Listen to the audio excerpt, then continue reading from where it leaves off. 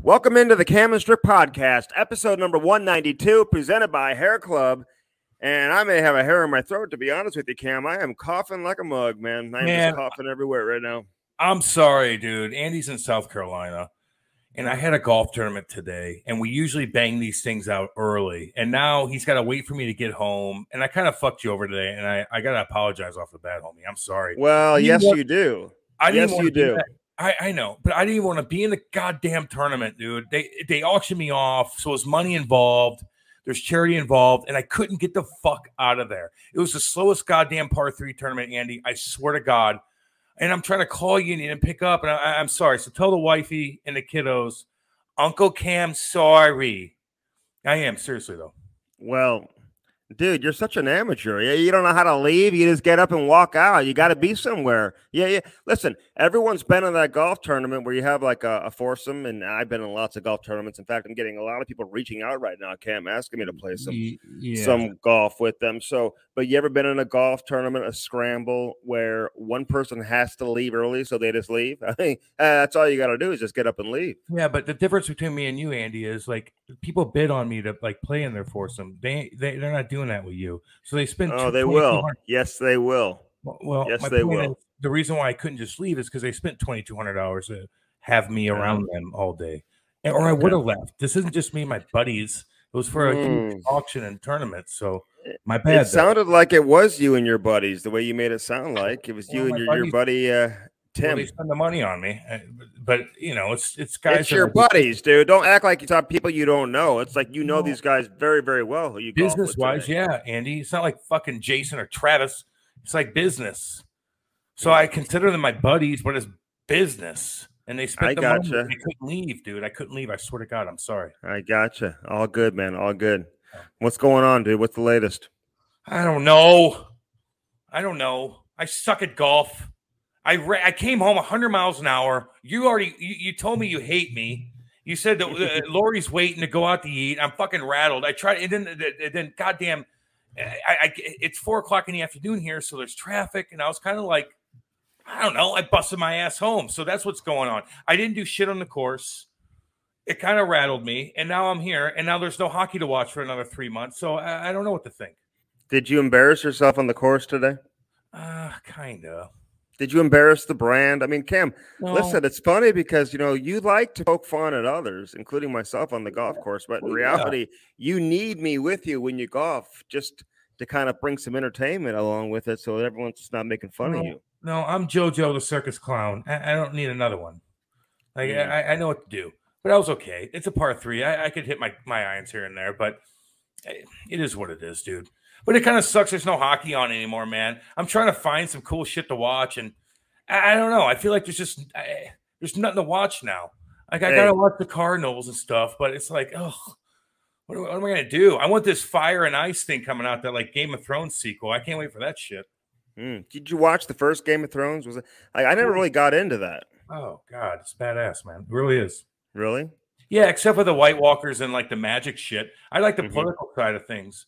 It reminds me of being back in like the 12 hundos, you know. Like I think that's where it is, where all the castles are starting being built and stuff like that.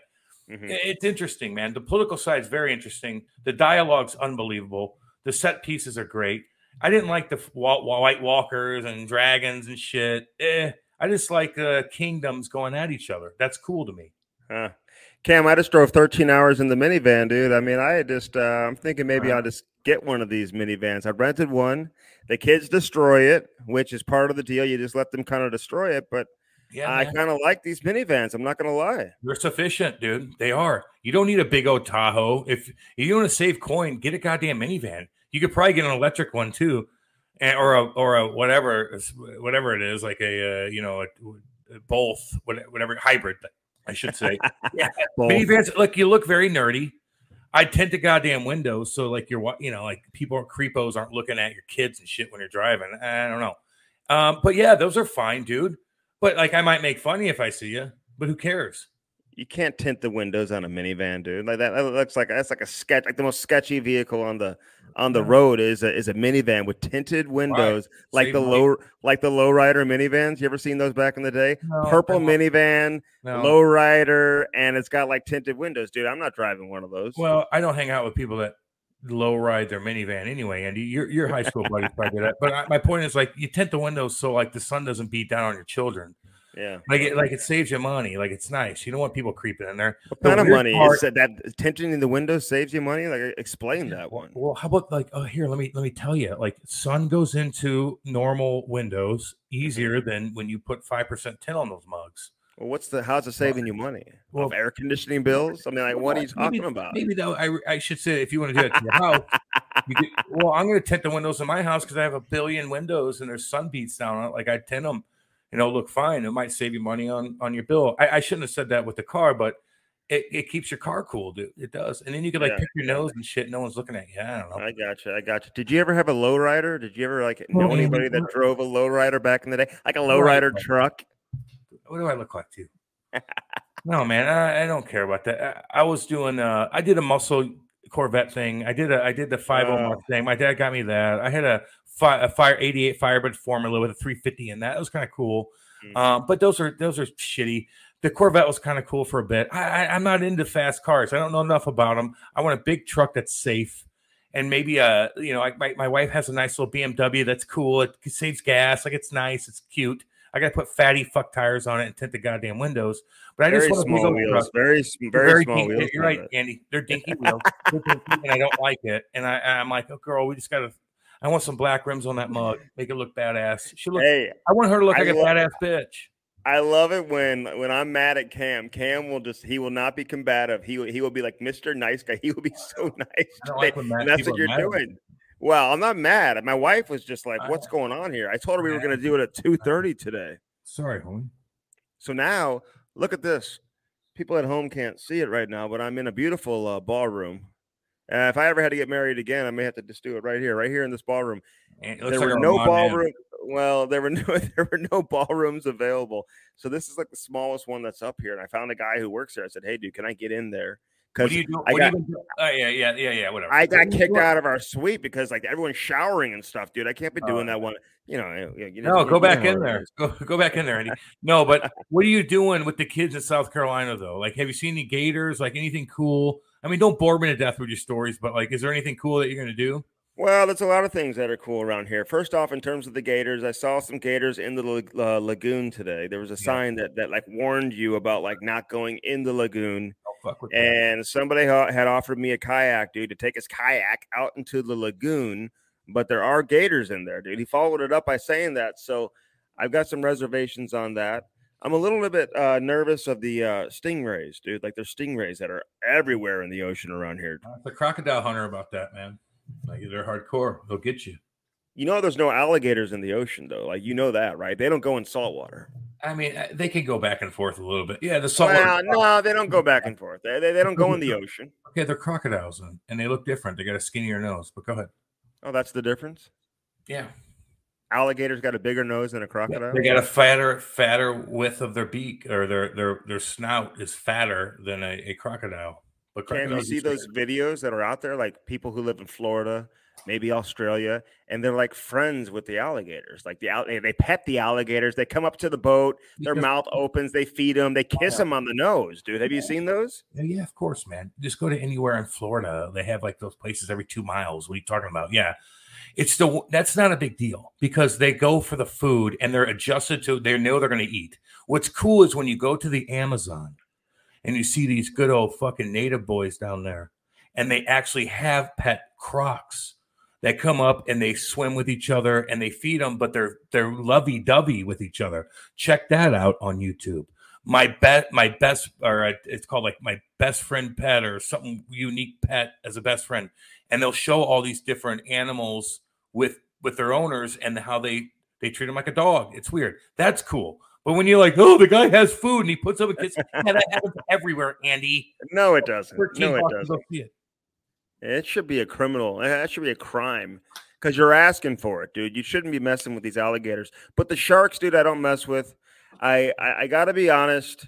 When I go in the ocean, dude, I'm very uncomfortable, man. My my anxiety is through the roof. Like it's not the same when I'm in the Caribbean or if I'm uh like in like uh you know the south of France or something like that, where like you know you're in that beautiful sea where you can Freezing see cold like water, well, you, you- where you you can you can Ocean. see and you can see your toes, dude, when you're in the water. Like it's Not so clear. It's so clear. Yeah, south of France, dude. Like in Nice. Oh, dude, yeah, may, maybe there. I would say. maybe. it's the most refreshing yeah, but it's probably- experience I've ever had. That's where I would send. Like you, you hear like Brian Boyle, like how he sent his dad like to like a a, a very like religious place where Yeah. there's healing powers. Yeah. Like, dude, there's there's probably places like that where I was at in in, in uh, Nice too. Like you go in the water, you just feel yourself getting healed. Like the refreshing. It's so refreshing. Well, salt water heals you anyway, you know. Well, like if you you have like like, a zits, if you had zits on your face or something, you get in the ocean, like you're gonna clear up pretty quick, you know. Or you is have that like what a it does? Well, yeah, it's salt water, man. It's like putting Mm. peroxide on yourself. Oh, yeah. And So anyway, so what? well, Excuse when? I'm in the ocean, I get very uh I get very nervous, dude. Man, I- that I- ocean's, I, I, I, I kind of scared. I, I kind of need you to stay alive, homie. Like I don't trust your you and your weak swimming. And when that that current gets you, like I, I don't know, like it, it'll it'll take you far, far away, Andy. Like you don't got the power to swim back. Be careful with that. I'm like oh, a message in a bottle, man. Well, it's just like that one little wave will suck you right out there. You're like a, they're kind of like a child. You have to like protect you. Well, the beaches and the ocean here in the states, specifically on the East Coast, the Atlantic Ocean, I feel like is infested with sharks. Like once you get out of Florida, where there's sharks in Florida too, but like, dude, you get to the Outer Banks in North Carolina, South Carolina, up the Jersey Shore, like I just feel like there's sharks everywhere. Well, because they go through the water pattern, dude. There's like a current that goes through, and they just find the current, and they go through it, and they loop back around and shit. Would So- you rather have a uh, confrontation with a shark or a bear, dude? Like, I mean, honestly, because those Um, are my two biggest fears. I told my family on the way out here, 13 hour drive in the minivan. It's a Chrysler uh, Cam. I, I- I don't know if it's from Belmont or not, but it's a beautiful Chrysler. Uh, yeah, it's uh, it's black. I think it's a limited. It's a it's an incredible car. It's you very need- fast. you don't need to get into it because it's, it's just not that cool. So just Wait. don't waste people's time. It- It's very easy. fast. I think I had it up to like 96 at one point, dude. I was like, whoa, I, I better better slow down. But um, I, I'm in the I'm in the minivan though. Um, what was I saying? I just forgot exactly what I was. you said a shark or a bear, and I'm like, I'll go Oh after. yeah, It depends on the situation. Now, hear me out on that. And and look, ain't no more hockey left. We're gonna have to get to creative. But there's a lot of shit that goes on. Andy and I on the radio every damn day, so we have to talk about stuff. There's a lot of weird stuff. There's bears in in St. Louis where we're at. They're they're migrating down no, from from the north, and it's very bizarre. And they're they're coming. They're all like very. They're all very skinny. They're malnourished. It's real creepy looking. They, Uh, That's they- not the bears I'm seeing. well, the bears I see eat plenty. Well, anyway, you asked me about a, encountering a grizzly bear in the middle of the woods or a shark. And depending on where I'm at with the shark, if I'm stuck in the ocean because the U.S. Indianapolis got hit down by the Japanese and no one knew that you were there because you're dropping the bomb off and you got 900 guys jumping in the ocean and they got eaten by sharks, like that's a different situation. But if I'm three feet of water and a shark comes, I'll bat that fucking thing and, and it might nip at me and I'll bat it out, get out of the, get out of the water. But if I'm in the the woods with a grizzly, you're motherfucking fuck. What are you gonna climb a tree? Go ahead, it will do. What are you gonna do? Outrun it? No, outrun a horse. What are you gonna do? It's the apex predator. Jump in the water. Oh, it'll jump down and dive down and get you. Well, my my kids asked me that question when we were uh, uh, playing a game of I think this or that. I think it's what it's called, Cam, or something like that. I I wouldn't know, Andy. Okay. I wouldn't know. Well, no. Would you rather? They were calling it. Would you rather? So have a head on. You uh, doing in- in South South playing that game? We- no, we had a 13 hour drive, dude, in the minivan. It's a Chrysler. It's black. It's very, very Oh, fast. so is that what you do with the kids though? would you're like, okay, guys, daddy's talking now. Would you rather? My son Ty, he did not fall asleep once, dude. I swear to God, I think he talked the entire 13 hours. I just did not stop talking, like the entire time. My my girls all slept. My wife slept. You know, I I did. It, he just didn't sleep the entire time. So Well, he wants to hang out with his daddy, dude, and that's good that he talks it. Like I, you want him to be comfortable talking to adults and stuff. I could always tell when I go in the ring, Sandy, and the kids that I meet, and they come up to me and they look at me in the eye and they shake my hand and they actually like talk to me, and I'm like, oh, okay, because I remember being. My dad always wanted me to be like that when I was a kid, to be able to talk to adults when you're young, mhm. and, and that's good, dude. So he might annoy you, but it's probably for the greater good in, in reality, you know? Yeah, you got to be able to talk. There's a lot of kids, man. I see these kids all the time on a daily basis. They are like scared to have like human interaction. Have I you noticed that? Yeah, yeah. Well, I don't hang out with kids that much, to be honest with you. So, Cam, today I went on a bike ride, dude, a long bike ride. Uh, early morning. The plan was to get up and watch the sunrise, but I couldn't get it, you know, my daughter up in time for that. So I went out and watched the sunrise a little bit about 6:15 ah, today. Eight 30 sunset. So it's like a late sunset here in South South Carolina. But we got the bikes out this morning, went for a nice bike ride.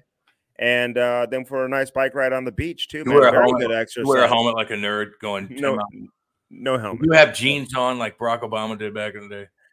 No, but but I could see how Biden could fall off his bike. Well, no I shit. Mean, I, I see these dudes. I see these dudes fall off their bikes left and right. On, Andy, like that guy. hey man, we've all fallen off our bike when we're fucking six years old. You think that's a bad look? What do you think, dude? Come Like on. I'm not getting. I'm Don't not me- getting. uh, not getting po- I'm not getting political on it. I just want to know Like, optics are a lot when you're a president, homie. Optics are a lot. Meanwhile, Putin's fucking, you know, jumping in the water and like wrestling sharks and shit. Even though he's goofy looking and he falls over, trips over after he scores 11 goals in Russia, he trips over the fucking thing and somebody probably got killed because of that in front of everybody. Hey, how does that video, how does that video get how does that video get out? What do you mean? Well, how does it get out?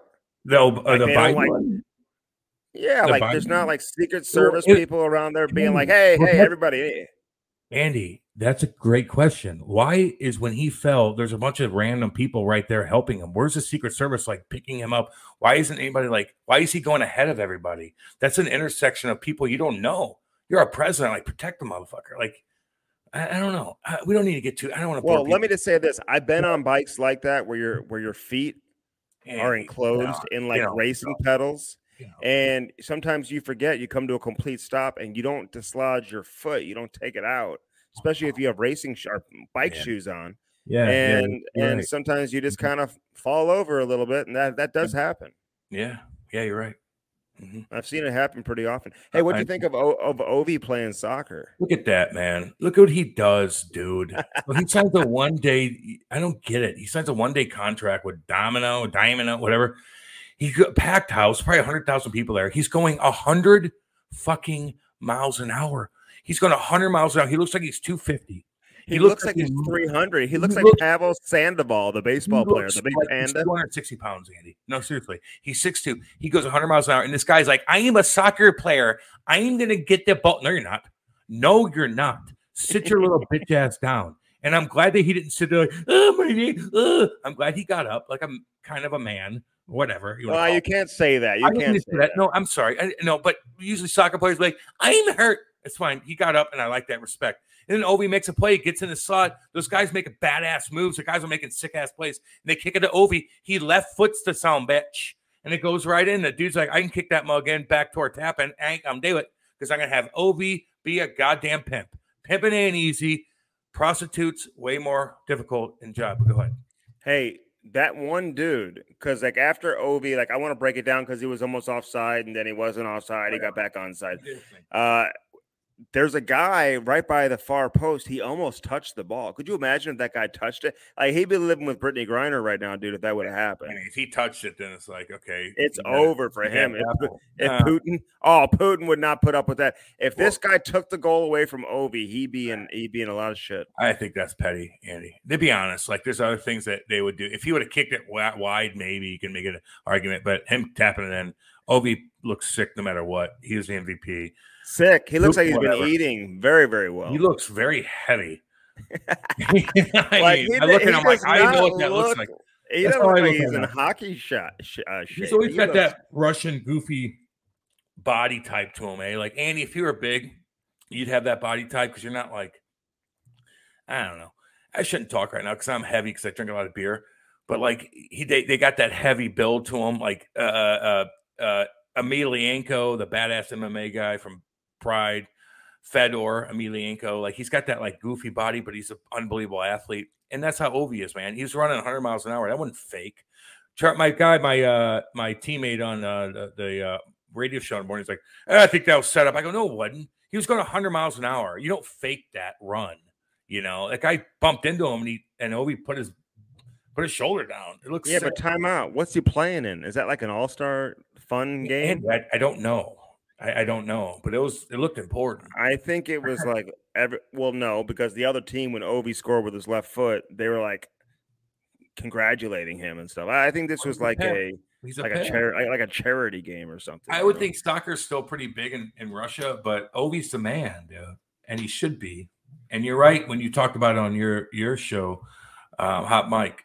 You like, oh, he's gonna he's gonna be a Russian that's gonna have a statue in Washington D.C. You Yes. goddamn he is, homie.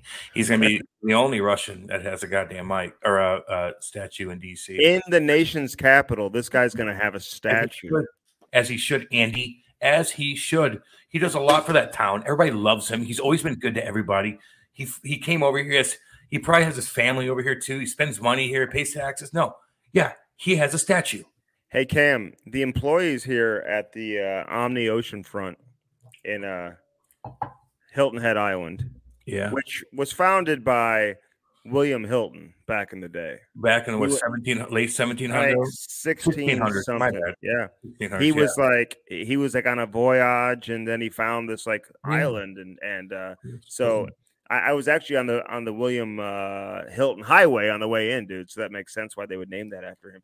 the but Union got their ass kicked there too, man. South Carolina, they got beat. They got the shit kicked out of them. Yeah, but you told me there's like a lot of war history and stuff like that going on here. I, I don't know about all that. Yeah, Yeah, I don't know about all that. yeah, and Andy, there was, homie. It's, it's pretty. It's pretty cool, man. That whole that A whole lot of history here. A lot of history. A lot of Civil War history. Yeah, they got their shit kicked in and they won back. There's a lot of stuff, man. There's a lot of Cam, stuff. did you know that I was born in South Carolina? True story. Man, that's cool, Andy. Okay, this is I'm in my home state right now. Cool, man. so I mean, if you can believe that. Uh, anyway, there's people here who work here, Cam, from all over the country, all over the world, actually. Hungary, uh, Oh, there's a lot of Jamaica. Well, Jamaica. The people who work here from Hungary, though, and then there's these one girls who work who are who are here from Slovakia. One of them is Can very close something? family friends with Tomas Tatar. Cool. Can I ask you something? How- If you were a single guy there, because we all have Mhm. our fucking buys listening. What up, homeboys? From Maine to Saskatchewan to Vancouver to Cali to everybody. We all love all y'all. But if the single cats were like, oh, Andy, oh, South Carolina, Andy is cool and things are cool with their, if there were single people and the boys are like, I want to go to South Carolina to sniff around a bit and play some golf and maybe not Oh. spend that much money, can they sniff around a little bit? Is Oh, there talent dude.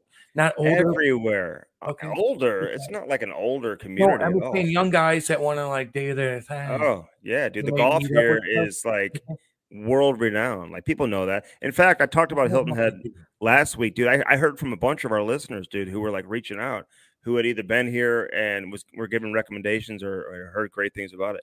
But no, for sure, dude. Okay, Absolutely. I'm just asking. I'm Yeah. just for the younger Yeah. crowd that want to sniff around. Oh, pretty good spot to go. Yeah, they just cute girls around, and they're like, "Hey, what's up?" I'm like, "Okay, that's kind of cool for them." And it's not Miami where you're like you're competing with big dogs, like South Carolina. Like if you got a cool golf group with you, like, and you find a couple girls, like it might be easier. I don't know. Yeah. Myrtle Beach is probably a little more Okay, yeah, I heard. like like redneck, maybe, if you will. Like Well, I, I don't mean that in a redneck bad way. so I'm I'm sure there's a lot more of like uh maybe like a spring spring break vibe to it. all right, yeah, stay away from that bullshit. Th- This But- doesn't but, you know, redneck girls will have fun with you. oh yeah. But this this place doesn't necessarily have that. This I is more you. like I you know. But dude, there's like three big time golf course. Actually, I'm gonna go putt putt, dude. There's like a, a world like international putt putt course, dude. It's like a, every hole's a par five cam. Apparently, like it's incredible. Like it's like super challenging. Video of it, homie. Take I'm going it. to. I'm going to. You ever you ever played a par five putt putt course? I haven't played putt putt in years. No, Actually. I don't have goddamn kids. No, I haven't. I don't get a putt putt shit. I just don't do it. Kate and I are past that fucking point. I ain't dating girls.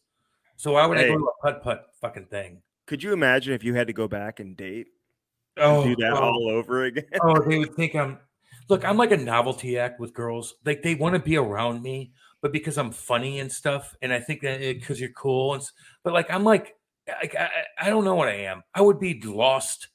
I'm so high maintenance, such a princess. I like I like Kate knows everything about me. Like I kind of need that. But yeah, girls would be like wanting to hang out with you. But I think I'm just like a, just like a shiny object that's funny. And then I'd, Mm. I'd go home and be lonely or something. You know. Maybe, maybe, maybe. Oh. Yeah, I don't know. I don't know if you could handle it. now. I don't know what to do. So no, there's a lot of really good golf courses here, though. No. But uh, pickleball has become really, really big. Ken, I've been asked by a number of people to participate in some pickleball tournaments and stuff like that. Would you have any interest in getting involved with that? Yeah, I don't know. Yeah, yeah I, need to lose weight. I, I'll do that. Uh, Kramer Okay. talked about that. Our boy. Yeah. Some guys always ask me to do everything. I, that's fine, but I, I'll, I'll do that. Yeah, okay. All right, let's start doing that. When I get back in town, let's start playing some pickleball and stuff Yeah, like okay, that. fine. I, now we got to Okay. pick golf. Now I'm like a pickleball guy. Like, hey, the pick Oh, one. Pickleball is fun. I'm It's gonna a- pick one, Andy. I can't do both. Hey, I got to give a shout out to a few people. I'm watching Colorado last night. Let me just say this about the Avs, man. Like they they are like deserving champions, Oh, man. They're champions that oh, you can sit back and you can say, "Wow, they deserve to win the Stanley Cup." I said it earlier in the year. I'm sure I said it on here. I know I said it elsewhere several times. It just felt like from the beginning of the season, this was their year, and this was going to be their year. Yeah. And you know they've got Cale Makar, man. He mm-hmm. is just the the the his nickname should be the difference maker, man, because nobody has anything that can match up with him. Nobody can. He, he is so different in terms of how he impacts the game. And you know, people bring up is he top three in the in the world? What I, I mean, yeah, I, absolutely. Is he first? I, I don't know. Can you put him ahead of McDavid the way McDavid played in the playoffs? McDavid took his game to the next level. But if we were to do a draft of all NHL players right now, man, he would not slip beyond number two, dude. He's that good. Pop quiz. So he uh, had more playoff points than uh, pretty much everybody else besides three other guys. Who are the other guys? Real quick, go, go, Andy, go. Pop What? quiz, go. Defenseman Defenseman. ever in the playoff. history? Wasn't In it the the most in like No, since the like most- '85, I think. Since '85. It was the most in like 38 years or something like that. Who were the other guys that beat him? Um, Come I'd on. say, well, Bobby Orr. no, no. It's too. He's too late. Current, more Oh. current guys, '80s and, and up. Paul Coffey. Yep. Come on, Um, you know a guy. Well, no, good. he ha- hold on, Al No, he MacInnis. Al MacInnis. Yep. One more. Um, because Al MacInnis would have done that in like 89, Yep. probably. So One other guy, um, 94. I, I, we can't waste. oh, and oh, Brian Leetch then. Brian Leetch. Sorry, I didn't mean to have a pop quiz. Sorry, Andy got them all. I'm going to give you credit for all three of those. That was kind of like a, we usually never do that, but it is what it is. But that's pretty good, man. He's really good, Andy. He's good. That team deserves to win. Fucking EJ, I love you, buddy. Erik Johnson. God, we went through a lot of shit. He went through a lot of shit here. the whole golf goddamn thing with all of us down at the Lake of the Ozarks was embarrassing and brutal. He had a terrible reputation after that. Is just was tough on him.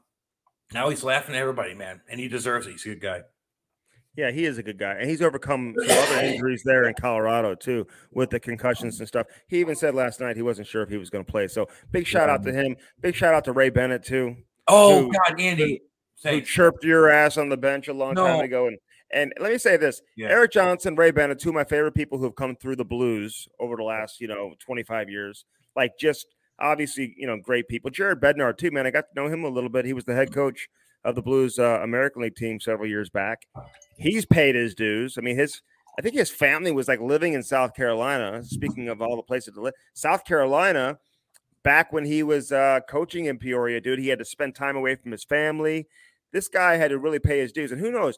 He may not have gotten the the head coaching job there if whatever happened to their coach with Colorado. Remember, the coach like stepped down, or Patrick Roy either stepped down or got fired like right before the season was about to begin Yeah, and and they had to make a decision. I think Jerry Bednar had just come off an American League championship, whatever. He had won an American League championship, and everyone knew he was going to be an NHL coach. But it happened pretty quickly. Goes to Colorado. I mean, they were worst in the league five years ago, man. They truly have built themselves into a Stanley Cup winner, and that's what happens when you um, when you make some real shrewd moves like Joe Sakic has done, and you're able to draft generational talent, which they've done twice now. So back to Ray Bennett, and sorry, I was like coughing whenever I was talking about EJ. And back to the Erik Johnson thing. Andy, you were with us, you know, not with us in that particular moment, but you you know the shit that he went through, the Oh, yeah. organization. like the first pick overall. Like you went through hell. Like you're going, you had thirteen thousand people at the games, so like it was bad for a bit. Then you get EJ, and this whole fucking debacle happened. You know, we talked about it, and it just was god awful. And EJ just stuck through it, got traded, injuries, and now he's he's doing his thing. So I just want to like re. Oh yeah, and you even you even go back to that draft back in 2006. Yeah. Everyone was always comparing him to Jonathan Toews and everything. But one more thing about Ray Bennett though, Andy, and I'm glad you yeah. brought him up. He was so good to me, man. I oh, love yeah. Ray Bennett. He was so damn smart. He was so well so smart. He was so uh, and he couple times he'd yell at me, Andy, a couple things, it just like a couple goofy, and, and I I'm like, yeah, I deserve that. Like he was and I did a couple goofy things, and I said a couple goofy things to his partner Andy Murray in the paper and stuff. Remember, an embarrassing moment of mine, and Ray was always just cool about it, and I will never forget that dude. He was a really good coach, and he deserves this. Ray Bennett, what's up, homeboy? And you ain't agent. You look good, buddy. He does. He's a good guy, really good coach. Yeah, real good coach. This guy's been on an NHL bench for like 25 years or whatever it is, and he's never won a Stanley Cup. He was Andy Murray's guy. Then he became Ken Hitchcock's guy, and Hitch totally had the trust of Ray Bennett, and uh, and vice versa. And, and then you know now he you can tell, man, Jared Bednar. Whenever he's talking to an assistant coach on the bench, he's always whispering in the ear of Ray Bennett, man. I mean, yeah. that's that's like his go-to guy on the bench. So a big shout out to Ray, his son Cale oh, who yeah. played for the played for the AAA Blues back in the day. And Ray used to come out, man, and run help us run practices and do stuff. Like this guy is he's top shelf, man, for he's sure. Always gonna have a job. He will always have a job, and he's gonna make a shit ton of money, and he's gonna be a big dog. So anyway. Mm. Listen, I'm going to say something that I don't think is true, but it's a crazy rumor. Okay. Ready for it? Because someone just texted me. People are like throwing out this rumor that Jon Cooper is going to leave and go coach the Detroit Red Wings, do for Yzerman. Okay. okay. So why would you do that? Well, I hear Jeff Halpern is the guy who's getting the job there. His assistant. He's got a couple of assistants. bomb just, though. Like who like who uh, told like that's a bomb you just threw out. Like we're gonna oh, yeah. Oh. Like Coops really? no, you don't post it like as in like what it just I'm just saying I'm not oh. reporting that that's happening. Someone's mm-hmm. it's it's out there a little bit. It's not out there out there, but somebody just sent the sent me a text. I'll go ahead and repeat it. Sounds a little ludicrous. You wouldn't think that it's going to happen. It does. After, but yeah. people like to put the connection together because Yzerman – he's the guy who hired Coop, you know. So he'll be good, you know, man. They've got a they've got a connection, they've got a relationship, man. Hey, in professional sports, nothing would ever surprise me anymore. You know that? I get you. I get you on that, hundred percent. How about um, Corey Perry, who I like, man? I've been battling yeah. against him for a long time. He playing for London and shit. I like Corey Perry, man. Awesome guy. The worm, little dirty motherfucker. I like it though, dude. I like it better than like a Kadri for some reason if like Perry does something dirty, I'm like, ah, that was dirty, but I still like you. Oh yeah, I, get you. Where some of these guys, when they do dirty shit, I'm like, eh, I don't get you.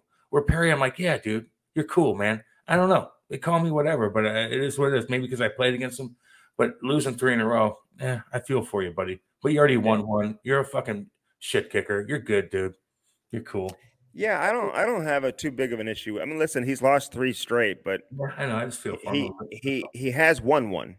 I know. Back in 2007. So with a bad team with the uh, Anaheim Ducks, man, that was a cool. Is, is he a Hall of Famer to you? Like, did he have to win another one to solidify? I don't, know. I don't even know because, like Daniel Alfredsson, man, like Daniel Alfredsson, he was just uh, congratulations to him. Although he did kick me off of the Ottawa Senators team bus one time at the draft. Well, you look like a goofball in that situation, Andy. You okay. can't go on somebody's bus like that. Like, well, Yuri, that, that would have. What are you doing? Yuri Fisher said, "Come on our bus." Yeah, but you gotta like know well, what you're doing here and there, you know, like know your surroundings and shit. This is like 10 years ago, and the bus was leaving. It's all they're all going to the same place. I didn't see the Ottawa little sign in the front of the bus, but everyone's leaving from the same hotel. Does it really matter? Nobody cared. I don't know. No, the guys do care. They don't want some. I don't know. Look, I wasn't there. I probably would have laughed at you to be honest with you. but um, I knew what I was. I knew what I was doing. But he did throw me off. But I don't know. Listen, Daniel Alfredsson had a really good really good career. Uh, did he scream Hall of Famer to me? I don't know. No, he's like listen, more it, it, any eh. other Swede, right? Like he's up there. I know Backstrom's. He was. He had a really good career, man. They loved him in Ottawa. I, I listen. He was a great player for his era. All I'm saying is, like, I if if people like him are getting in, like, when's Alexander Mogilny gonna get in? Like when Mogilny played, like know. to me, he was like a superstar when he was at the the top of his game. Keith Tkachuk was like a superstar at the top of his game. AR, Pierre Turgeon, like we can go. Oh yeah. Well, I mean, Pierre Turgeon about fourteen hundred points. Andy. But Tkachuk leading the league in goal scoring in like back to back years or whatever it was. You know, and like I don't know. Probably like fighting. He, like he was he was doing a lot of things. You have to tack all that on, just like a defenseman. That's tough. Like that that made it that didn't put the points up. Like you tack everything on intimidation to this that. I don't know. I don't know where's Corey Perry's point production at. Where's he at with goals? Where's he at with? The uh, he's a former Hart Trophy winner. You know, know so he scored fifty goals, didn't he? Yeah, he did. Yeah, he did. And, and he's got like that tr- triple club or whatever he is. You know, won a, a gold and a gold and, and a, a gold. Yep.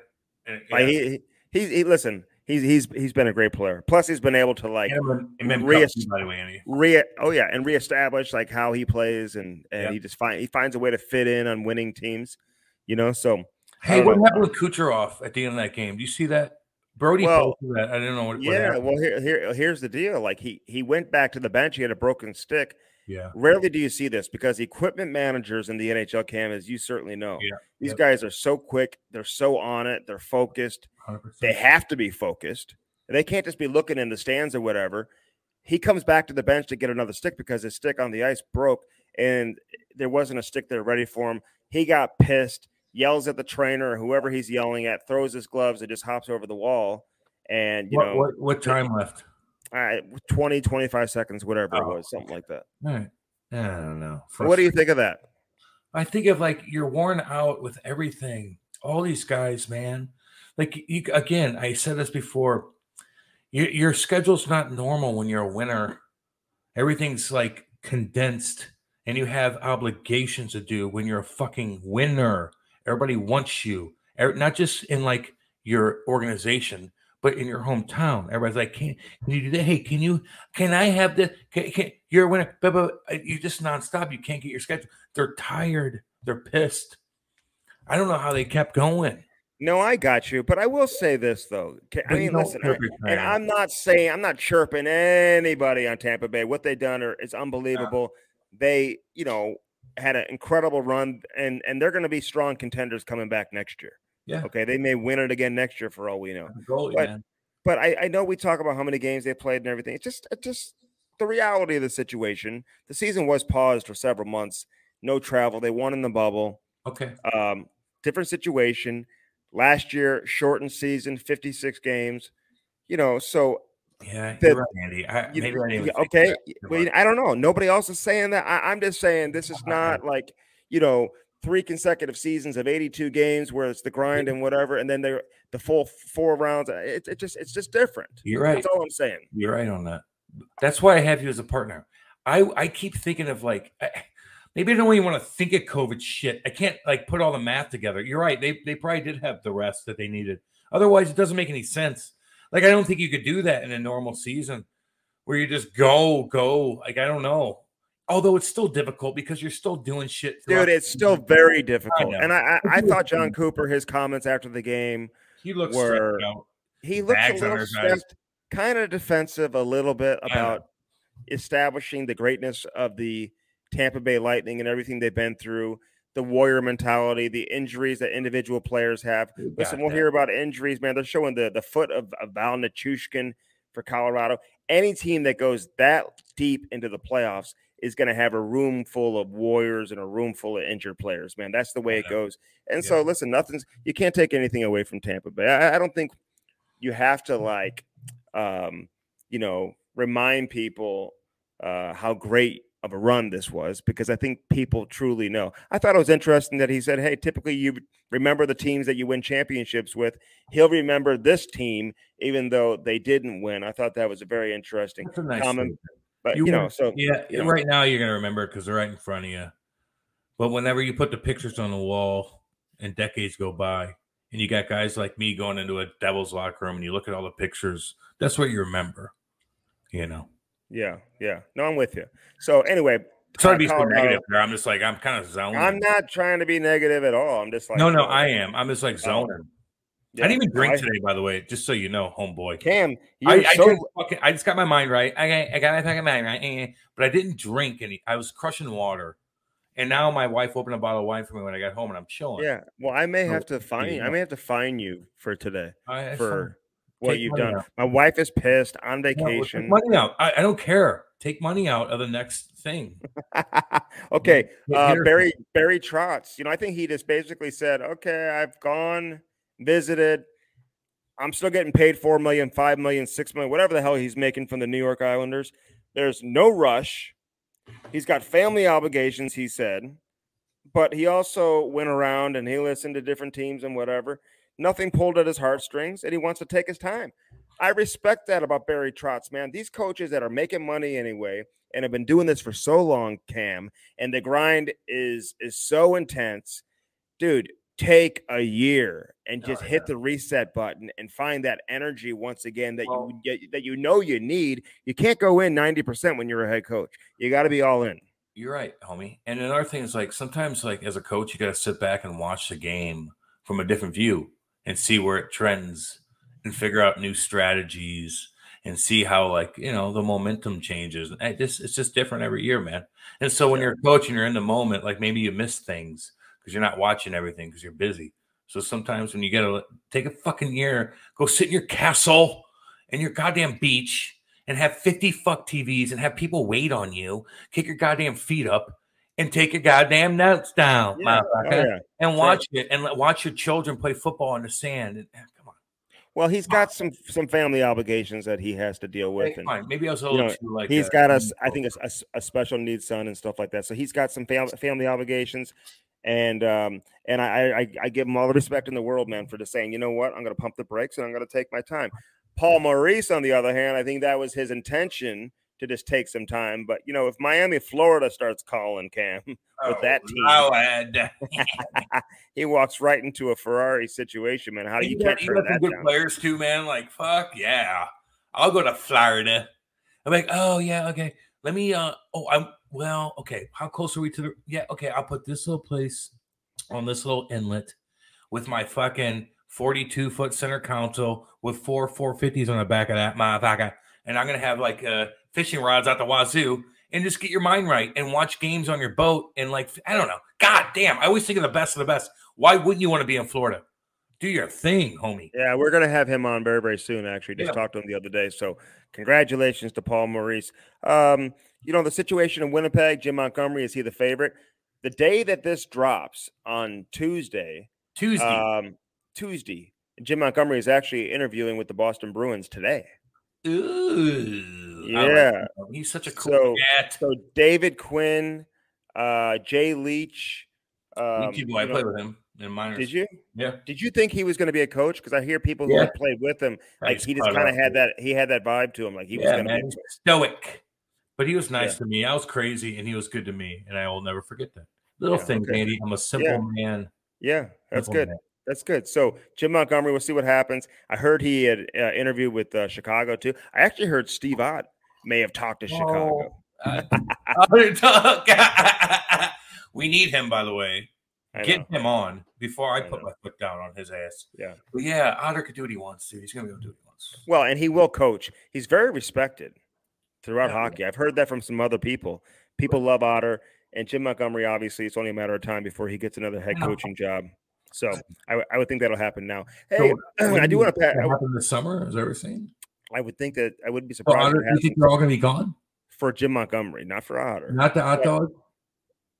Listen, uh, the Well, first step is things, and now I'm like, whoa! Now you got me going. The first you- step for Otter is to start getting some interviews, which apparently he's talked to Chicago.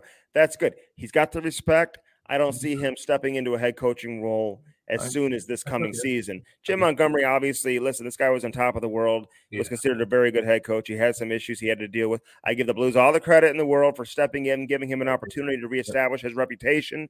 That's what they've done. Now he's getting interviews, and I would imagine he's going to get very serious uh, consideration. He is already from Winnipeg. Although one other name to pay attention to as well is um, is uh, Vincent Pascal or Pascal Who? Vincent. the assistant coach with the, with the, with the Columbus Blue Jackets. Why am I saying No it? I'm saying it name both ways. I, look, Uh, I, I- do a lot of things and I study a lot of things, but I, I, I Yeah. just don't know his name, homie. I don't have all my notes in front of me, dude. I'm on vacation in Hilton Head, dude. I'm just doing this in a ballroom, a very nice ballroom because Cam's 10 hours late. I don't want your wife to be mad at me or Ty or little Ivy. Oh, well, God. No, I don't want to be pissed at me, man. I, I don't. I'm hey, sorry. So David Quinn has yeah. interviewed. Um, and so Hey, is that his Twitter account, by the way, that says "Hi everyone, good morning" every day? Uh, is oh, that his Twitter account? Probably, so probably cool. not. Probably not. He was cool. Remember we talked to him. But I know. Was, that's why I look at his Twitter. Yeah, account. yeah. No, I, I, don't know if that was him, but he would love for that. He would love that. You know, Bruins job, obviously being like from that. that area. So, yeah, we'll see what happens with uh our boy David Quinn and Jim Montgomery, Boston, Winnipeg. Hey, I want to throw this out there. I put this out there on Twitter the other day that, you know, a lot of speculation. Edmonton, Toronto, just to name a couple of teams. Ville Husso. Who got interest in Ville Husso, but hey, pump the brakes. The Blues want to keep him, and they're trying to they're trying to resign him as we speak right now. They're trying to get it done. Bang D dog, Andy. Good job. Yeah. Good work there. Good job on that. Because everybody's like, who's so going here? Who's so going there? I'm like, okay, whatever. Andy went. And then I was but but the deal is though, I mean, who knows if they can get it done? The Blues probably have to be creative, move a contract or two to make it happen. But listen, I think Doug Armstrong and um, and uh, Craig Berube, the Blues head coach, just like everybody in the league right now, man. You watch Colorado right now, you see what took place with the Blues. You have to have two good goaltenders. I know, I know people look at it and be like, well, why would you ever want to tie up $10 million into one position? Because that $10 million can get you into the play. It could be that's the difference between getting in the playoffs and not getting in the playoffs. So well, I know, you know, yeah. typically maybe you wouldn't want to do that, Cam, but you know, you've drafted both of these guys in Binnington and Husso. You've developed both of these guys, you know, um, in terms of you know the the amount of time that you've committed to both of these players to getting to this point of where they're at in their career. I, I mean, I think it'd be hard to just let them go and go play for somebody else where you know he's going to be a good goaltender. And I will say this about Ville Husso: he really likes St. Louis, and he really likes Jordan Binnington, and he's a cool ass dude. I told you that several times before, Cam. And it's not in his personality to say, "Oh, I'm just going to go get the most money I can get, stuff my pockets with as much cash as possible." the grass isn't always greener on the other side. I like where I'm at, and I'd like to stay there. So we'll see if they can make it happen. Well, money's always green, and green does matter. So it depends on you know what the offers are. Mm-hmm. You know, I don't know. I don't know. I, I, like him, man, and I know you've always talked highly of him, and uh, to have a good connection with the two guys who are competitive, but not like you know a nuisance in the room, which could always affect everybody.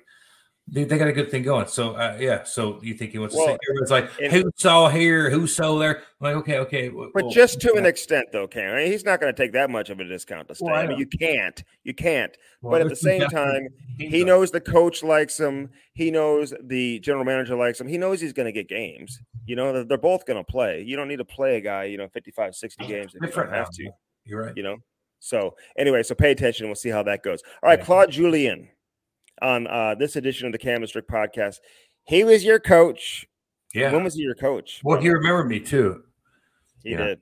He did, and I, I thought I was going to ask him like Andy bet me that he didn't, you wouldn't remember me, but he called me out at the beginning, and I'm like, oh, he does remember me. So mm-hmm. I would have won probably money on that, but man, he yeah. was good, dude. I, it was a weird situation. I was too young to really understand what was going on. I'm trying to fit in. You know how it is. I had my own little mm-hmm. world going on. But um, but him getting fired was very bizarre. We were fucking killing everybody. But he was always good to me. He was very just like chill, like here, just let's do this. I remember Mad Dog, John Madden, a couple guys getting weird with him. I, I, don't know. It was a weird situation, but he was always good, dude. You, you always know when a guy doesn't have a connection or he does have a connection, even if you don't really remember it. You, you just know you have that feeling. It always be inside you. He was a good dude. He was a good coach. Yeah. So yeah, we'll see what happens. Hey, real quick, because Gaudreau, who I said has had a zero, he's got a zero percent chance of returning to uh, Calgary, zero percent. And and I'm sure the Flames are talking trade, talking some teams about Matthew Tkachuk right now as well. I would just imagine that's happening. Yeah. You know, that's just they just have to get involved in that. DeBrincat, obviously from Chicago. Forsberg is interesting. I reported months ago that you know around the trade deadline that Nashville was actually looking at potentially moving him at the trade deadline and Nashville made it sound like that they had a deal, like that they were going to get a deal done. Now they didn't. and you know you basically let him walk. You don't get anything in return because it doesn't look like he's coming back there. So we'll see what happens. You wonder if David Perron is a free agent if Nashville all of a sudden goes after Perron. But I will say this as well: the Blues have made it a priority to re-sign David Perron and Ville Husso. Those are their two guys. I don't know where that leaves uh, Nick Leddy. We'll have to wait and see how that plays out as well. So, but Forsberg's a hell of a player, man. Whoever gets that guy. Yeah, yeah, he's good, man. How would you rank them in order of who, of who you would want: DeBrincat, Gaudreau, or Forsberg? Oh, okay. DeBrincat, uh, uh, uh, da, da, da, ba, ba, ba. maybe. Oh God, damn! Rank them, dude. I'd say DeBrincat because he's he just can I don't know can shoot. I'd say, and then probably uh, how old's Gaudreau? What are the ages? All the same age? Twenty seven. All around the same age, probably. Okay, uh, I'd say DeBrincat, Gaudreau, and then um, Filip. You go DeBrincat over over Gaudreau. Yeah. Forsberg's a hell of a player though too, man. man. Sometimes he can go a little quiet. I would, I would go, yeah, man. DeBrincat, man, he, this guy can score fifty any given year. You just, he's got that type of potential. But he's also been really good playing with Patty Kane and stuff. I don't know. We'll see, man. I, I don't know. All right. But some good ass players that are going to be available for uh, yep in free agency. All right, let's get to Claude Julien, man. People will enjoy this. I've got to get back to uh, the room. We've got reservations tonight. Cam, we're having dinner right next to the lighthouse tonight. Oh, send me some on the water. On the water. Tell your girl, I'm sorry, dude. Seriously. I didn't mean they, uh, they are not happy with you, right dude, If it was just me and my buddies, I would have left. It, they these people pay a lot of money, man. I don't know what to do. It was slow as fuck.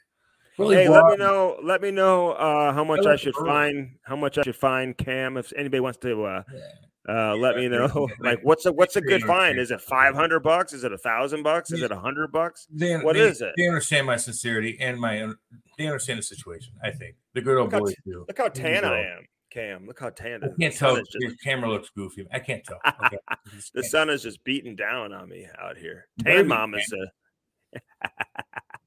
All right. Uh, Hair Club and hairclub.com. Go to our landing page www.hairclub.com slash cam and strick. Go there and go there today. Replace restore regrow your hair cam. You've done a good job with the front. Now it's time to do the back. Uh, okay? Get on. I'm looking in the camera. Oh god. Uh, uh,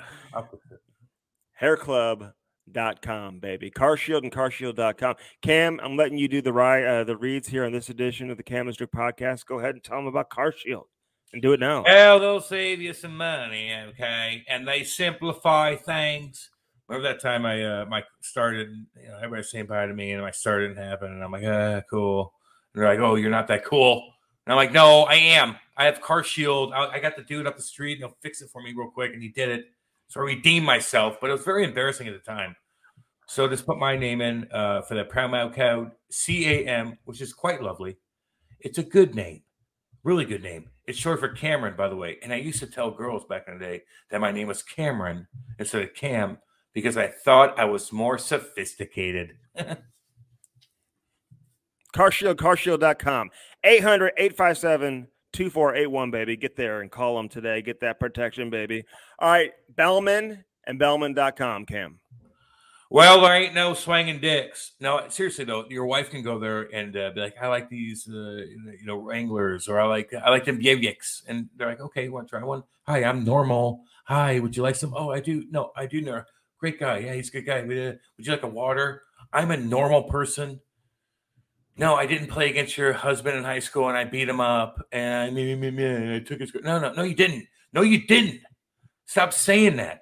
Can't you just go buy a car, creepo? Anyway, none of that there. We love Bellman. A lot to choose from. Mm. Bellman and Bellman.com, baby. Zero Carb Lyfe Pizza Cam. That's L Y F E. Zero Carb Lyfe.com. Uh, tell them about the pizza, dude. That chicken crust, man. 72 grams of protein. Well, not just protein, they got the protein too in that 12 uh, that uh, 12 inch, baby. If you like good pizza and to lose weight, it's a great combo. I have trouble with fitting in the pants throughout the day, and uh, if I'm on that like pizza diet, you know, and I substitute that for like regular pizza, then I can fit into my clothes and I feel like more energetic, and that's a good thing, and it tastes great. Oh, there you go, and it's guilt free. And it's like part of your workout routine. You go work out, then you go have the pizza. Zero Carb Lyfe, baby. Eat it today. L Y F E. Lose weight, have fun, and uh, enjoy your pizza at the same time. They got two different types uh, beef crumble cam as well as a buffalo style. So there's a couple different options yeah. for you to choose from. You can make your own pizza by just getting the pizza crust and uh, use that co- uh, promo code Cam and Strick, baby. You're going to save some money on that checkout. Don't forget to hit them up with that promo code Cam and Strick. Um, Waggle Golf, man. Listen, that's a new sponsor of ours. We'll tell you about that as we move along. Get your waggle on. Cam, these golf shirts are unbelievable. You could have used one for today. We've got so much coming out about Waggle Golf. Just check out their website. Get your waggle on. We just made the announcement on Instagram. We're excited about having our friends from Waggle Golf, W A G G L E, join us and be with us right now here on the Cam Strick podcast. So, welcome aboard all of our friends from Waggle Golf. And of course, Marsblade Cam. This would be a perfect spot here in Hilton Head, South Carolina to just get out there and start rollerblading, man, and start uh, toe dragging. Toe drag them cougars. That's what I do. All you got to do is get that like biscuit puck, you know, take your shirt off and get your grind on, put the put the blades on and cruise around. And when them cougars cruise around, just toe drag them. And they're like, oh my God, who was that? Oh my God, who? Where does he live? Oh my God, he's toe dragging me. I love him. That's pretty cool. Start doing that. Although don't toe pick in front of him because if you toe pick with no shirt on, you're gonna fall and they're gonna be like, "Oh, you okay?" And you're gonna look like a jackass. That'd so, be embarrassing. So Andy, yeah. you can't do it. Okay. Marsblade, baby. Get those rollerblades and get them today. All right, let's get to Claude Julien, Stanley Cup winner with the Boston Bruins, coached in New Jersey, coached in Montreal. Very, very, very nice guy. Also had a scary, scary incident yeah, at the Olympics, coaching for Hockey Canada. Are you kidding me? Listen to this story. Enjoy Claude Julien on the Cam and Strick podcast, baby. The Cam and Strick podcast is brought to you by CarShield. You know, nothing more frustrating, Cam, than when that engine light comes on and you know right off the bat you're going to have to spend thousands oh. of dollars to repair your vehicle. Call 800 857 2481. Mention the promo code CAM mm. or visit carshield.com and use the code CAM to save 10%. Yeah. That's carshield.com. A deductible may apply. Save yourself money Sign up and get your coverage now with carshield.com. Now to the interview. Hello. Claude. Hi guys. Welcome hey, into the show. Hey, um, where are you at right now? Are you in uh, up in Canada? Yeah, are you in you Boston? At? Yeah, I'm in. No, I'm actually in Ottawa. Ottawa. So we moved back to Ottawa last year and uh, settled down where our families are both from. So uh, that's where we're at right now. We should start that rumor. Actually, no, we like DJ Smith. actually, DJ yeah. did the show. We, we like DJ a lot. Windsor boy. He is a Windsor boy. Yeah, hey, yeah we, I, I got to work with DJ, so uh, you guys don't want to get him in trouble, right? So no, far, we get no. along. Listen, people maybe haven't heard from you in quite a while. Obviously, um, you know you were last coaching with Montreal. You've had a long career, and a lot of things have happened over yes. the course of your career. It says you got a very interesting career, Claude, as well. Cam may call you Claude. I'm going to call you yeah. Claude because that's the proper way to say it. Claude Lemieux told us that. But how you doing now? What have you been up to?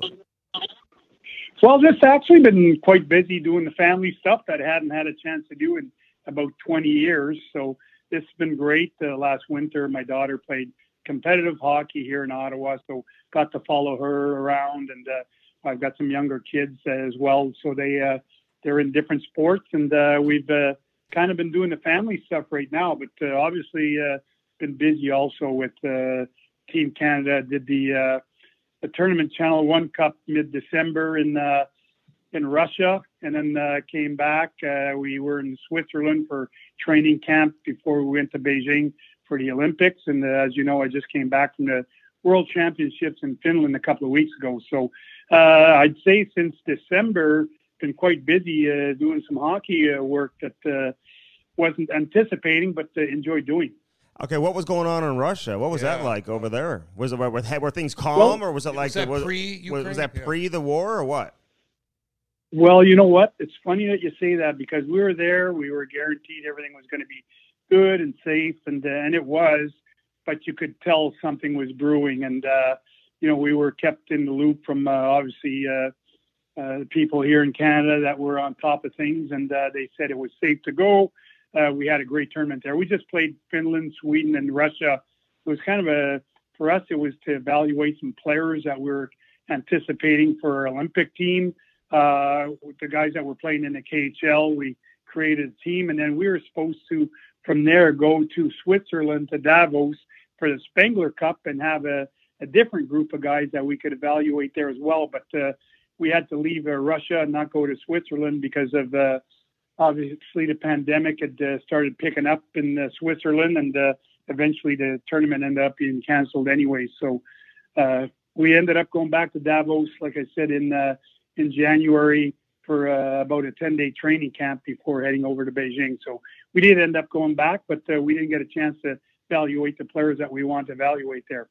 Yeah, it's so difficult traveling and stuff. I mean, the past couple years have been crazy, but whenever you do have like something like that going on, Claude, and you hear that you're going to Switzerland, you're like, yeah, okay, sure, I'll go to Switzerland, the most beautiful country in the world. Absolutely. Like I was looking forward to the Spengler, and the Spengler is played, you know, at Christmas time, you know, so between Christmas and New Year's. So uh, the players, the families, everything join us there. So there was supposed to be two, three hundred Canadians, uh, all related to the to the team, uh, coming down for that. So it was quite the uh, quite the setup, and everybody was excited about it. We are going to spend Christmas there, and uh, all of a sudden it just got canceled. So a little disappointing, but uh, again, you know, we, there's been a lot of people disappointed with the COVID and a lot of stuff been going on. So we've learned to adapt. That's one thing I can tell you. Damn right, Claude. You've been everywhere. I mean, I hope you're I hope you're collecting those miles. By yeah. the way, I mean, you go to Beijing, China. Hey, what happened with your ribs or whatever? You broke your ribs there, like right before the tournament started. How'd that happen? Well, it's quite quite the story. We kind of downplayed it to be downplayed it a little bit because we didn't want to make it a, the focus. But uh, we had a team building event. Uh, uh, guys were still coming in at different times from different leagues, and uh, so it was uh, going uh, sledding down a, a mountain. And uh, so, anyways, uh, ended up going down there. It'd been warm the whole week. Uh, snow was melting. Uh, there hadn't been that much snow, believe it or not, for that time of year. So no snowbanks, uh, and uh, basically uh, hit a patch of ice. Uh, tried to stop before a curve and uh, couldn't and uh, just went over the, the, the cliff, decided the edge of it, and uh, ended up hitting a tree. Oh. So uh, yeah, so I, I actually got lucky uh, in a sense because uh, could have been a lot worse, but I did break my ribs, punctured my lung, and uh, had a hematoma on the side of my leg. Uh, and uh, so basically, I found out later on that a couple other players had actually had the same thing happen, but they were a little quicker than I was. They were able to jump off the the sled before uh, it went over the edge. So the sled made it over the edge, but they didn't.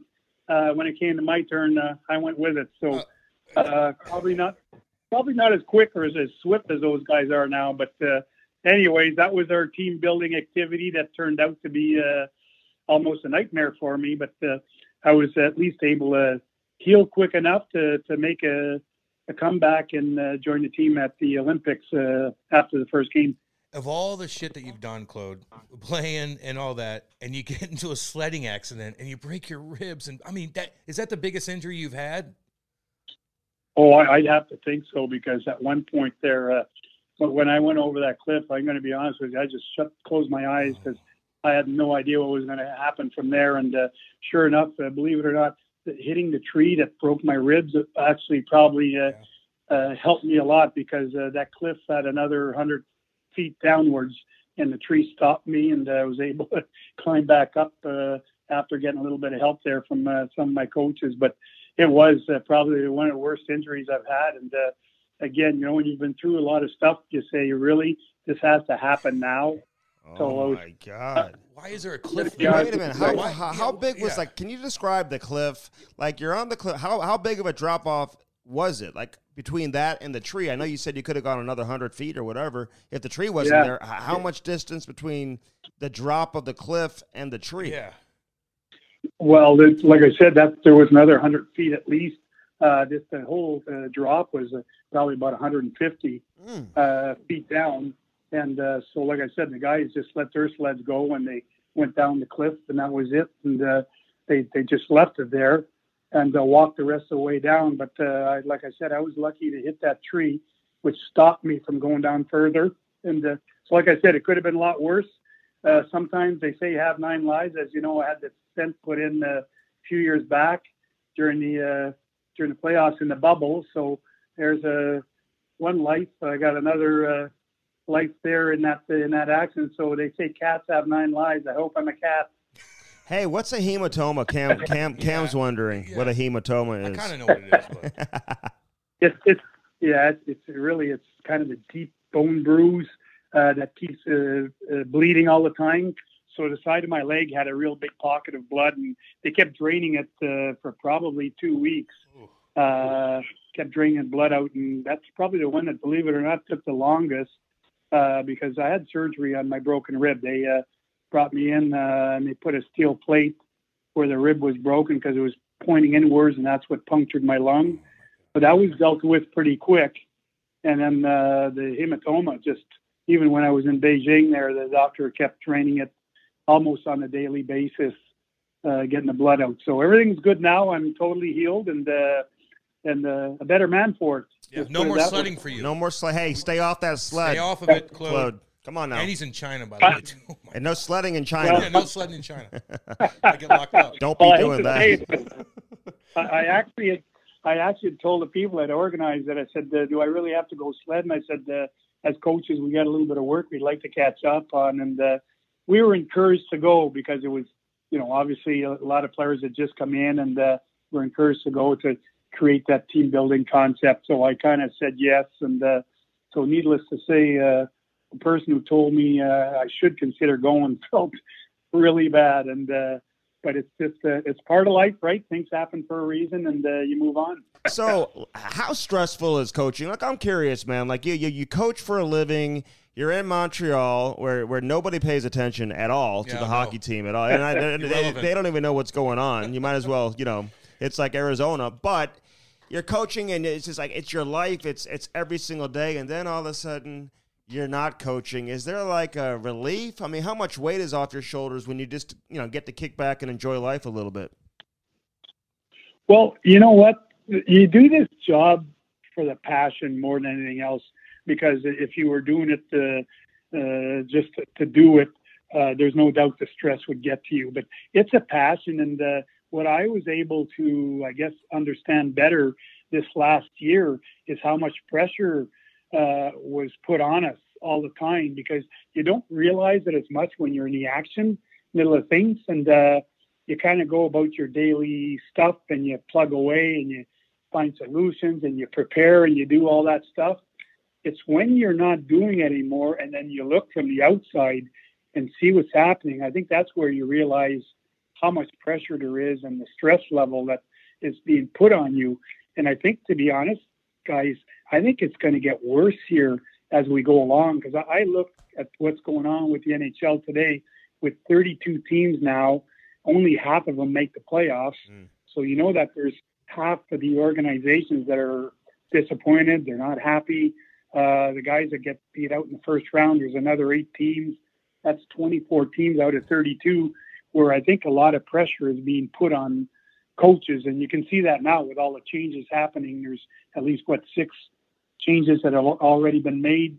And uh, there's some during the season that are happening as well. So I just think there's going to be more and more pressure being put on coaches as we move forward here. So, uh, but at the end of the day, would I do it again? Absolutely. Why? Because passion takes over all of that stuff. You know, we're we're willing to put up with that because we love the game so much.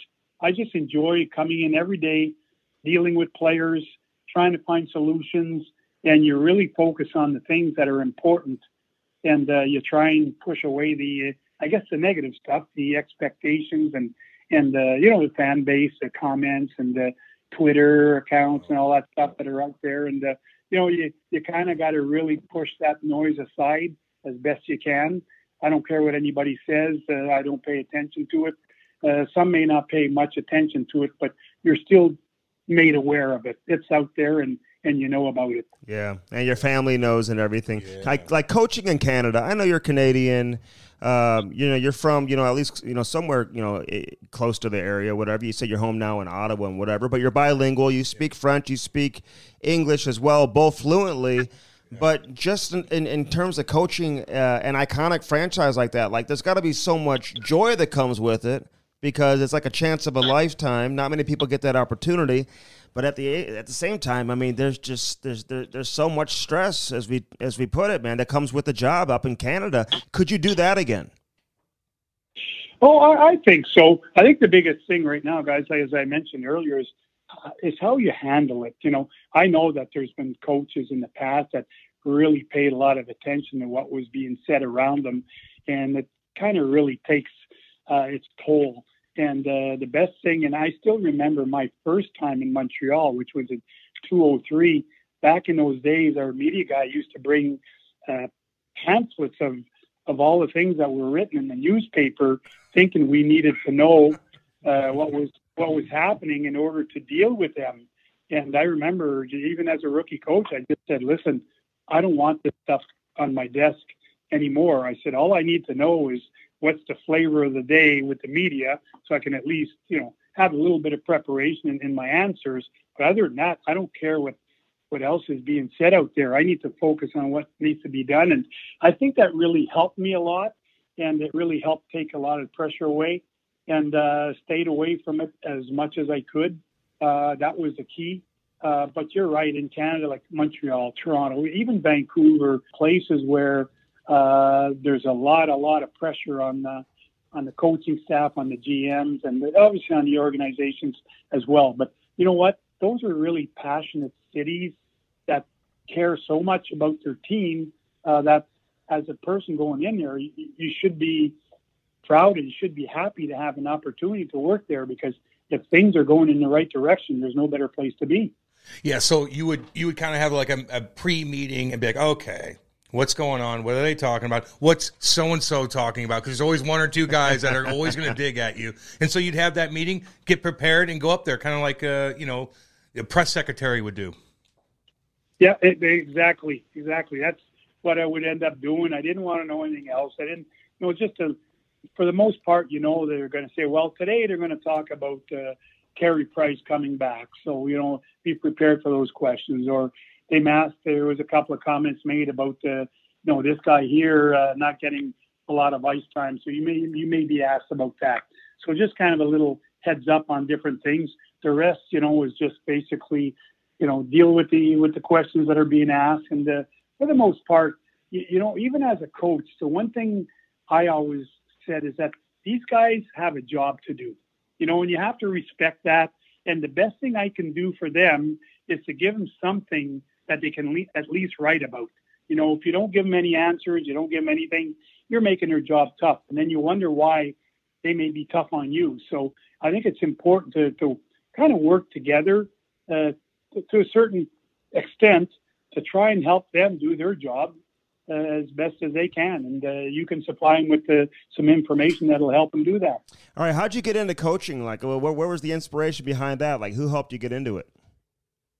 Oh my goodness, it's it's such a, a, a long story, but I'll make it short. Uh, let me put it this way: is by accident because after I retired as a player, uh, that was not necessarily my goal. Uh, I got approached at one point from uh, it was Pierre Dorion's father, who was a head scout for the Toronto Maple Leafs, had actually asked me if I'd be interested in being the player assistant coach in the minor league uh, system, which was St. John's Newfoundland. Toronto Maple Leafs had their farm team there.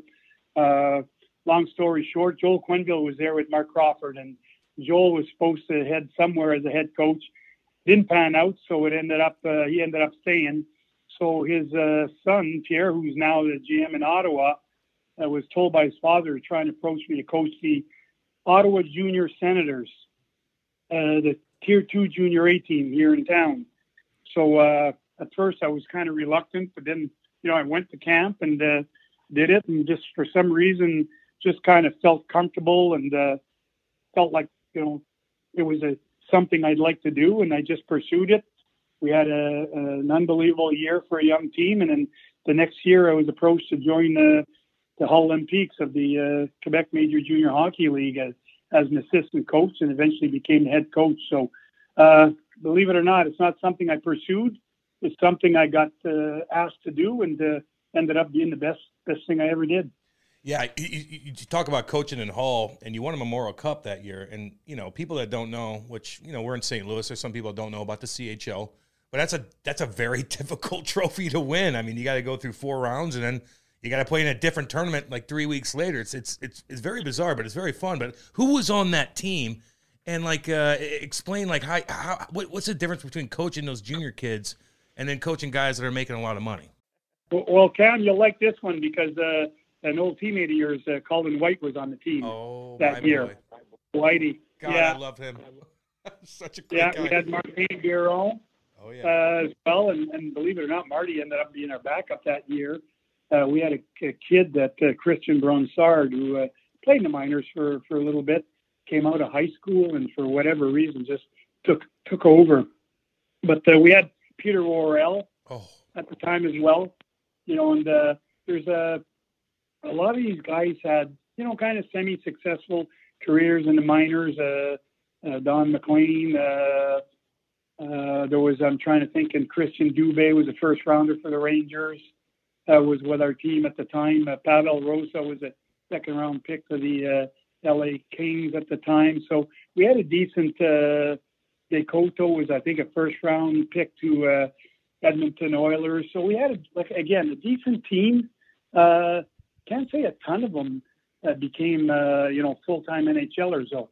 You know besides Martin that I mentioned, Colin and uh, obviously Peter Worrell. But uh, we had a really good hockey club and. Uh, as you mentioned, a hard trophy to win because you know not only do you win your league, but then you got to play the champions of the Ontario and Western Hockey League as well. And uh, we had to go through these uh, teams also. And uh, it was uh, quite. It was my first year as a head coach, so it was a, a great way to start.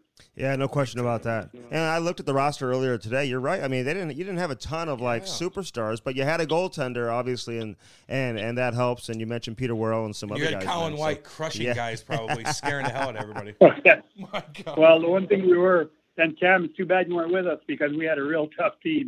The Colin White, the Eric No, we had so many guys that could handle themselves. And I remember playing Lethbridge, and uh, at one point they tried to rattle us a little bit that way, but we were able to respond. But uh, yeah, I really liked our team. We had good balance in uh, in all, I guess, positions and, also all situations.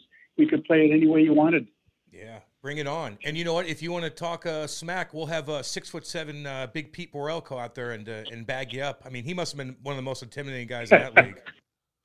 Oh, he was yeah. By by the by his last year, there was nobody that came close to him. And uh, as a as a young player, as a 17 year old, he ended up having to take on uh, Georges Laraque, who was in his last year of junior. So he's a 19 year old against 17, and uh, believe it or not, he held his own. You know, obviously George was a much stronger, more experienced fighter, but uh, Peter did well. So we had some uh, had some good guys to practice against as uh, as he was coming up. You know, listen, I, I got to ask you this because uh, you know, shortly thereafter, obviously, you get to the NHL, but you know, you, you you made a name for yourself in New Jersey for sure. People knew who you were already, and you're having this unbelievable season. You guys are in first place, Oh, yeah. three games to go in the regular season, and you find out you're being let go. Now, this this this may never happen again in the history of the National Hockey League to have a team in that position, and to have a coach get fired that late in the season when you're in first place. Uh, break it down for us, Claude. Like, how'd you find out? What did he tell you? And were you in like complete shock? Because I can't imagine you were expecting that. Were you?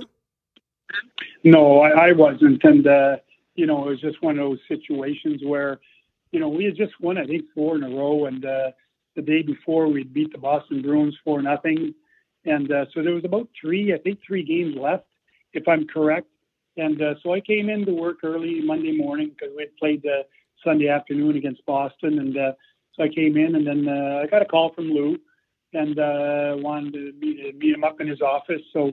I just figured that, uh, and Ken would know this. I just figured that Lou wanted me to go up there, and he was going to explain to me how, you know, things are done in the playoffs with the New Jersey Devils. It was my first year there, and and uh, you know how they usually ran things. So I was going up there, I guess, with that in mind.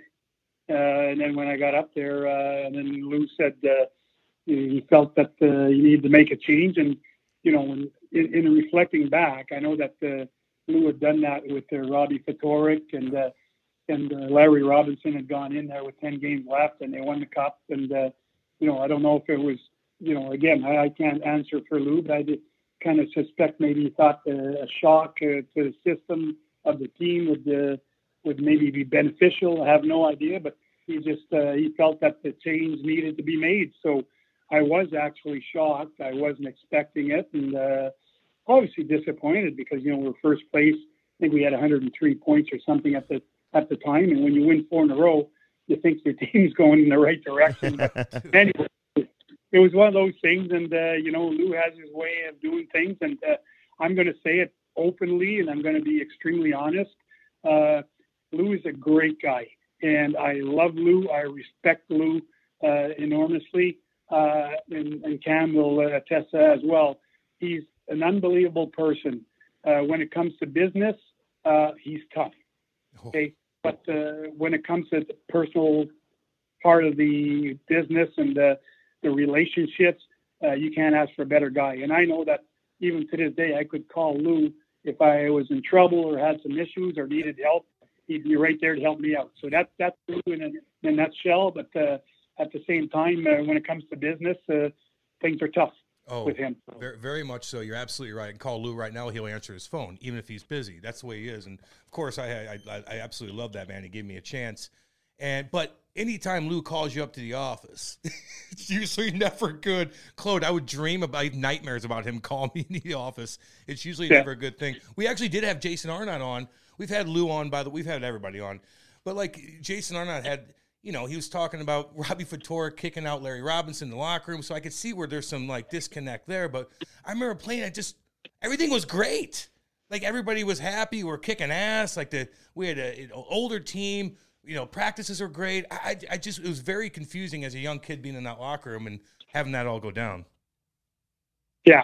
Well, again, like I don't know what you know how the guys felt you know, when when I was let go, uh, I know Lou canceled a practice that day, so I had no idea. Like, I, you know, I, I had lots of guys obviously reach out to me, and uh, you know, the Giontas of this world, and uh, and even uh, um, my gosh, Cam, help me out there with our backup goaltender at the time, Scotty Clemmensen, uh, or was it? Uh... Scotty, it was Scotty. Yeah. Thank you. Yep. Scotty was such a good kid, and you know, Scotty barely played. I think he played three games or something, and he reached out to me and uh, you know uh, expressed his uh, disappointment in what was uh, happening and stuff like that. So at least I felt, you know, like with all of that, that for the most part, that you know the guys uh, seemed to have enough uh, respect for me to, to, to call me up or leave me a message or text me, and uh, so that was important for me because uh, you know I thought I'd done a decent job, and uh, you know we were like I said we are going uh, along pretty well, but uh, you know that's that's the business of hockey, and uh, you know GMs have to make tough decisions. You don't always have to agree with them, but you have to respect them. They don't do them for the wrong reasons. So you, if you understand that part of hockey, you're able to move on. And you know, so I moved on, and uh, shortly after that, you know, within a week, I had a call from uh, from Boston uh, to see if I had interest in going there. And uh, the ironic part about it, and I can tell you guys that now, is uh, after I just agreed to a contract with uh, New Jersey uh, with Lou, uh, I'm telling you, I signed it. I faxed it back to Lou. It was no more than half an hour later. I got a call uh, from the NHL saying that Peter Chiarelli uh, would like to talk to me. And if you guys remember, Peter was still with Ottawa, and Ottawa wouldn't give Peter permission to start working with Boss until after the draft. So everything he did, he had to go through the NHL uh, channels first. But anyways, uh, Peter had asked me if I'd be interested in the Boston job. And uh, as you know, Cam Lou was very secretive. He didn't want anything leaking out, and we were going to announce the uh, my hiring in a couple of weeks. So uh, I just said, "Well, let me think about it, Peter." And I hung up and I called Lou and I gave Lou the heads up and I said, "Listen, I'm getting approached by that." So next day, Lou had me fly into Jersey. We made the announcement, and Lou, uh, as you know, classy when it comes to that kind of stuff made sure I called Peter before the announcement to let them know that uh, you know I was they're getting ready to announce me uh, signing with them. But uh, so all that to say, the minute I got uh, let go by New Jersey, I got the call again from from Peter to go to Boston and uh, spent ten great years there in, with the Bruins organization. Yeah, it always works out. I mean, well, you, you had to. It's like it's not your typical firing. And I know you, you say that's the business side, but it's it's very rare. I mean, was, you, you, you just don't see that happen very often. But at the same time, you're in a great spot in terms of the team winning. I'm sure in the back of your mind you felt like maybe you'd be in a good position to get another job. I was going to ask you if you had talked to Lou Lamoriello after that, like what your emotions were, like because I'm I'm I'm curious, and I think a lot of people would be, Claude. Like, how do you get over something like that when you put so much into a season, you're having success? How do you get over the anger? Like, how does that not carry with you? And I, I guess it helps when another team calls, but I'm talking about initially. How do you deal with that? Well, I'll tell you what made me real nervous about that firing is that, you know, throughout my whole coaching career, I'd never been fired. I kept moving up from tier two to, you know, major junior A to American League and into the NHL. And I got fired by Montreal, uh, parts of whatever four seasons, you know, there was a lockout and half a season here, half season there. But anyways, I get let go by Montreal. I get hired by New Jersey and a year later I'm fired again. So it was two firings in the NHL within a year. So that really made me nervous because I, I thought the first thing I thought is people are going to start thinking there's got to be a red flag there, and uh, and I didn't know whether I'd ever get another job in the NHL. But when Boston came calling, uh, no doubt a week a week after, so I didn't have to procrastinate or worry for too long. Uh, that kind of made me feel a lot more comfortable. So uh, no doubt uh, that kind of worried me. Uh, but as I mentioned, going to Boston was the best thing that ever happened to me. I had a great relationship with Peter. the way he worked and the way I wanted to work just went hand in hand. our whole staff downstairs like had a great relationship with the equipment guys and medical guys. We had a really good group of people, but as you know, a great group of players as well. The the Charas, the Bergerons, uh, we had the Recchis, you know, we had really good leadership. So a uh, really close knit group that won the Stanley Cup eventually. Uh, but uh, had some great years there, and like you said, things happen for a reason, and uh, it ended up turning out to, to be a, a good firing at the end because I, uh, like I said, ten great years in Boston. Uh, as an NHL coach, you can't ask for more. Yeah, it's, yeah, it's amazing how it works out. And Peter Chiarelli now, he's now working under Doug Armstrong. He's here in St. Louis working for the Blues. So, yeah, yeah. Um, and there's so many different directions we can go in uh, from your time in Boston, and obviously winning a Stanley Cup. But you, you had some some. I mean, personalities there too that you had to deal with. And I'm curious, you know, Brad Marchand, as a young kid, he comes in, and obviously he's from the Quebec League, so I'm sure you had some, you know, um, you know, people that you knew that that you could get some information in terms of who he was and what makes him go and and his personality and all that. But what were your initial impressions? And was was he difficult to handle at all as a young player, or did he just come in ready to win and ready to play? Well, there's a lot of stages to go through with him, and number one is that he came out of juniors last year. Junior, uh, I don't know if you guys know that, but he was even a healthy scratch in the playoffs. Uh, it was kind of like uh, a, a bit of a I don't know if I can say it on air, but a bit of a shit disturber. You can say whatever you want. Uh, say whatever you the hell you whatever want. The yeah. you want, Claude. This is the cleanest Cam's been since we've done this, by the way. there we go. But uh, you know, even in, in his own locker room, and uh, so there was some issues there, and they made him a healthy scratch. And uh, so I know the year before, and I wasn't there yet.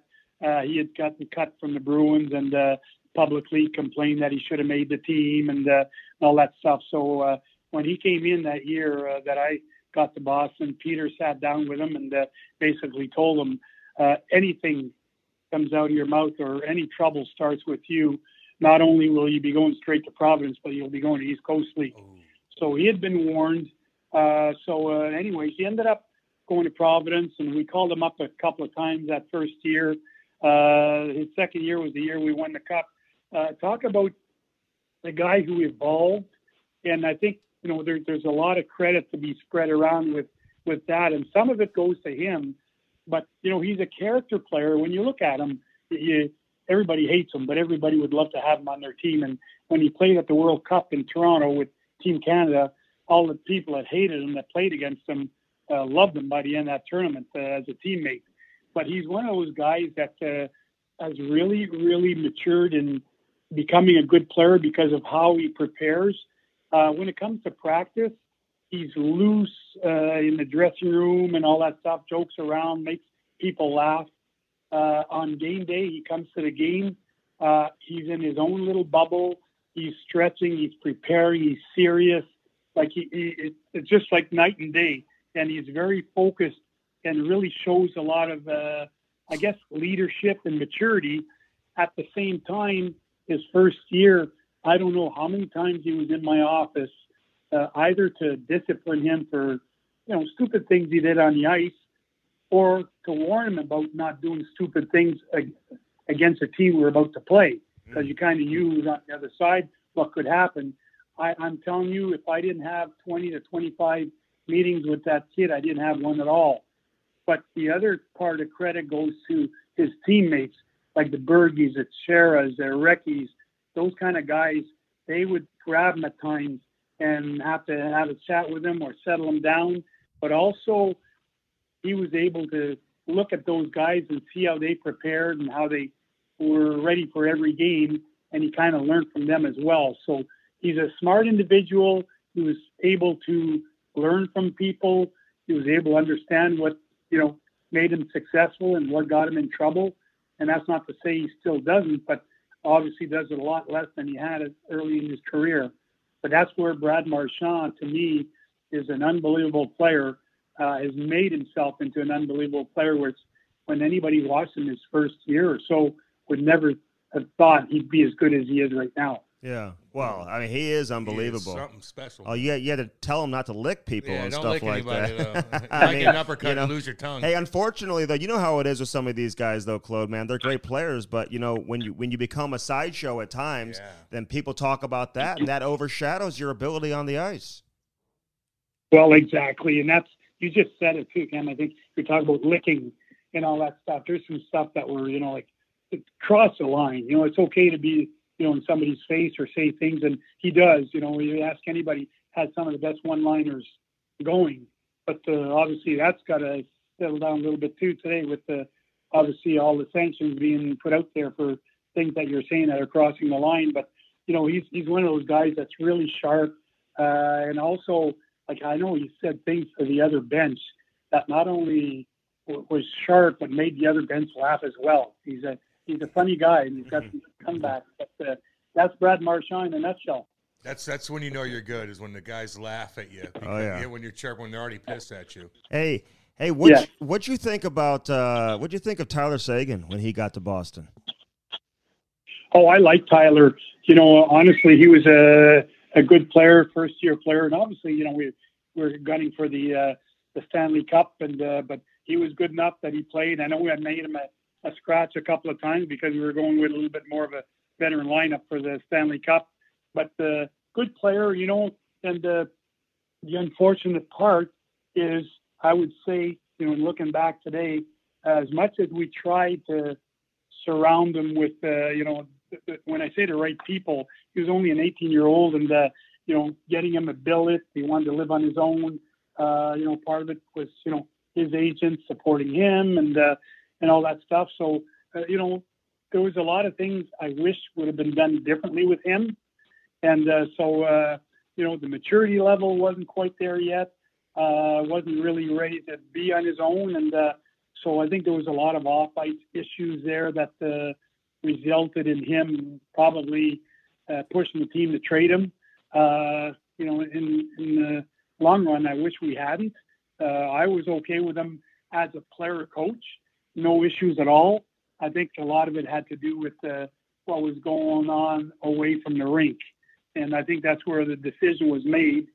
Uh, whether it was the right decision or not, uh, again, that's what ended up happening. But like Tyler Seguin, as a player, I think you know with the, I guess the group of guys that were still in that dressing room, kind of like Brad Marchand, uh, it would have been good for him to continue to mature and uh, and get better. And I'm sure he would have uh, uh, been okay in, in the long run. But uh, he's turned out to be a pretty decent player, anyways, and Yeah. has done a good job for them in Dallas. That's a tough trade, man. That's a, that's a tough one. Yeah, he was doing his thing off the ice though. Yeah, he handsome was. little bugger too. Yeah. He was a handsome kid. He, he was he was uh, he was having some fun. You know how that goes. Uh, but it- it- explain Yeah. Chara though. Like, you know, you're you're coaching this team, and you got this monster on the back end. He's leading your team. You can put him on any situation. Like God Almighty, Like, explain him his skill level, his size, how intimidating he was. He is so difficult to play against, and to have that in your back pocket, man, oh man, he just he just controls the game. Well, they they always talk about you know you're as good as the people that surround you, and that can be you know your coaching staff, but it's also the players and the you know uh, Zdeno is one of those guys that every coach would dream to have because, as you mentioned, he was good at everything. And you talked about leadership. He was a great leader. You talk about a guy that nobody wanted to play against. He was your guy. You could put him against every team's top players, and uh, he would give them a hard time and uh, make it hard for them to get around him with that big reach and everything else. He's also one of those guys that, you know, in his prime, you put him on the power play at the point, had one of the hardest shots in the league. Uh, after that, when we started moving things around, he was one of those guys you put in front of the opposing net on the power play because he could screen, take the goaltender's eyes away. He did it all for us. He really did, and not just on the ice, but off the ice. And you know, uh, as coaches, you dream of having a captain like that that has that impact because everything we talked about, everything we wanted to do as a as a coaching staff with the team, he was in that room reinforcing it. There was never questions asked. He he believed in what we were doing. Uh, it was just a matter. He was like everybody else. It doesn't matter what system you play. If you do it right, you'll be successful. So he's really encouraging the guys to to do the things the right way. And again, you know, you're you're a good captain, but you need the support around you. And you had the support from the guys I've been mentioning since the start. Had lots of those guys around him. So uh, as a coach, it was a dream to to, to be with that group because you you had good leadership and. Uh, you had good support uh, from inside that dressing room. All right, what was it like to coach Tim Thomas? I mean, like this guy was he was interesting. I feel like people don't know a whole lot about him, like what he's all about. I remember you guys winning the cup, and he didn't want to go to the oh, White House yeah. and stuff like that, which yeah. was really unusual for a hockey player at the time to like. Yep. You know, stand up like that. Very few people had done that in hockey. It's kind of frowned upon too. Yeah, we see it in some other sports and stuff like that, but such a interesting like character and like an unknown personality, really. Yeah, and and Tim, and you hear that a lot. Goaltenders are different, right? But uh, Tim was a different uh, type of guy. Not a bad person by all means. He was a good person. I got along really well with him. We had some good conversations and everything else. But Tim had his own way of thinking. Tim did his own stuff that he believed uh, worked well for him, and sometimes it didn't always, I guess, blend in with what we were trying to do. But at one point, it was almost like, you know what? If Tim is stopping the puck, let Tim do his stuff. And that's exactly what happened the year we won the cup. Uh, I remember at home, while we would do the night before a game, we would have the players come to the hotel and uh, sleep at the hotel so they could get a good night's sleep. And oh, you're done. We say, guys, be there by at least nine o'clock at the latest. Uh, that way you can be at home, you can have supper with your family, you can put the kids to bed and all that stuff, then come to the hotel, go to sleep, and then uh, you know, and the next morning have a great breakfast with the team and come to the rink. So uh, we had guys checking in, and then the trainer would call me when a trainer would stay there and say they've all checked in. Well, Tim was checking in, uh, whatever after our afternoon practice the day before, and uh, would go and check in, and then would go home and would never come back. And uh, we kind of found out about that, and uh, so uh, as a coaching staff, and then with uh, again the core group, we said, you know, what what should we do about that, guys? You know, and uh, players were good about it. They said, listen, as long as he's stopping pucks, we're okay with it. Everybody else going to continue to do it. We're not going to complain.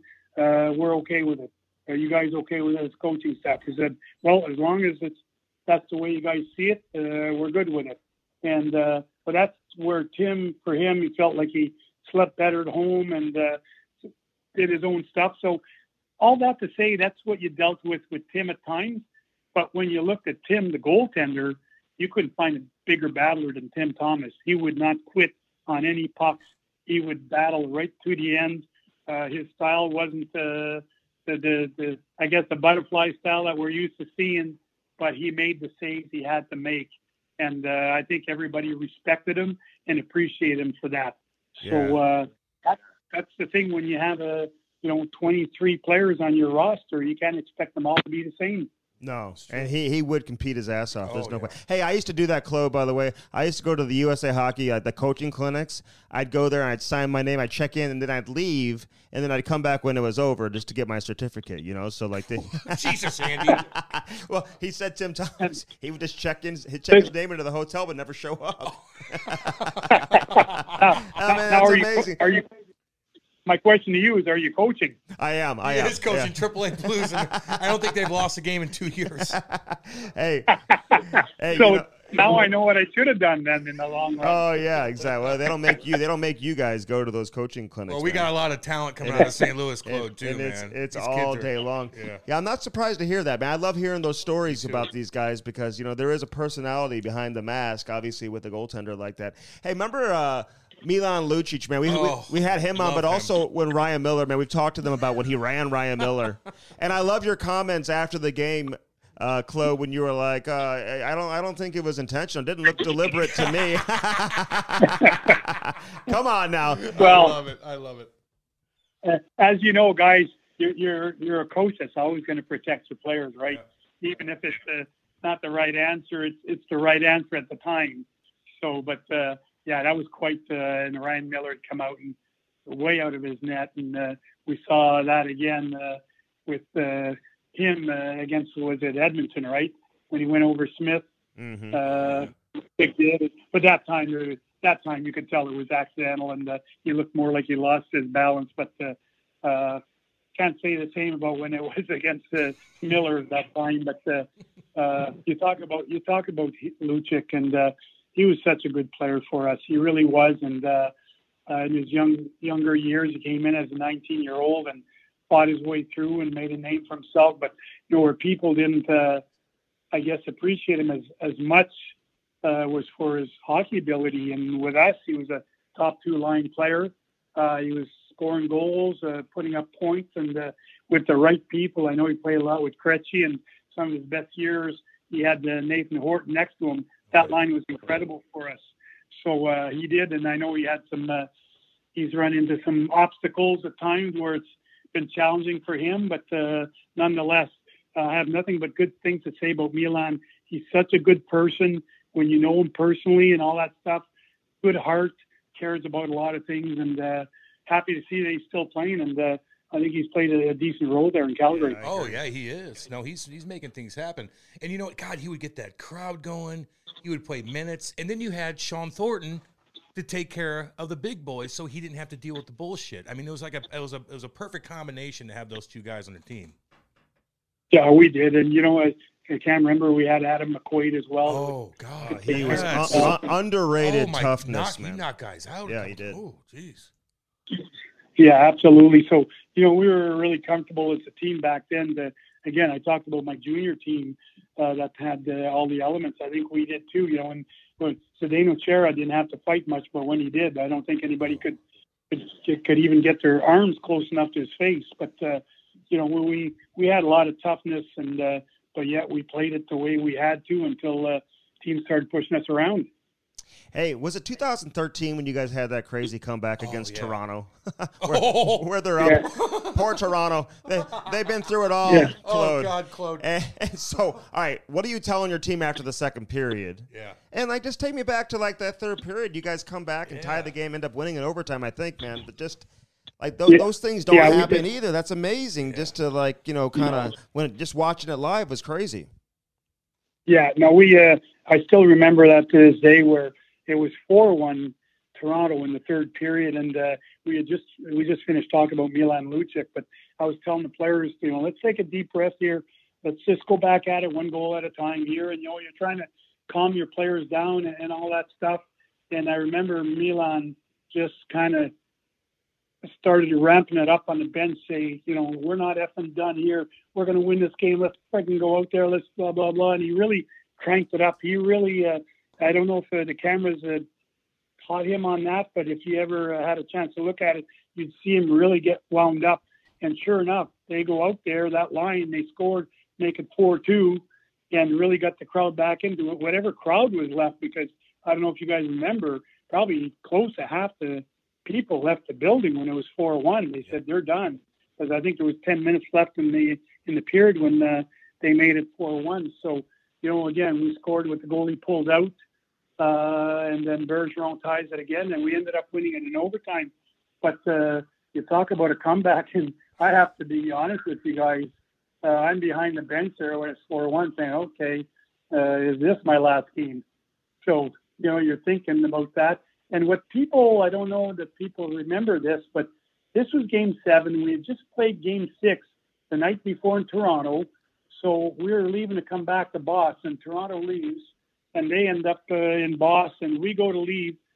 We have our plane has an issue. Oh God. So now we had we had to scramble in Toronto to find a hotel that could take us all in. Uh, we had to sleep there. We had to find a place to go eat before we went to bed because uh, you know we are supposed to eat on the plane on the way home. So we had to find a restaurant that would stay open just for us, uh, and then uh, hotel rooms. And then we left the day of the game. So we got there uh, closer to noon on game day, while Toronto was sleeping in their beds in Boston waiting for us. So we are already at a disadvantage. So all that to say, I, I thought our guys showed a lot of character, and uh, you know, it was unbelievable the way we came back. And uh, uh, again, one of those uh, that you'll remember forever. So when when that plane's kind of messed up, were you like, hmm?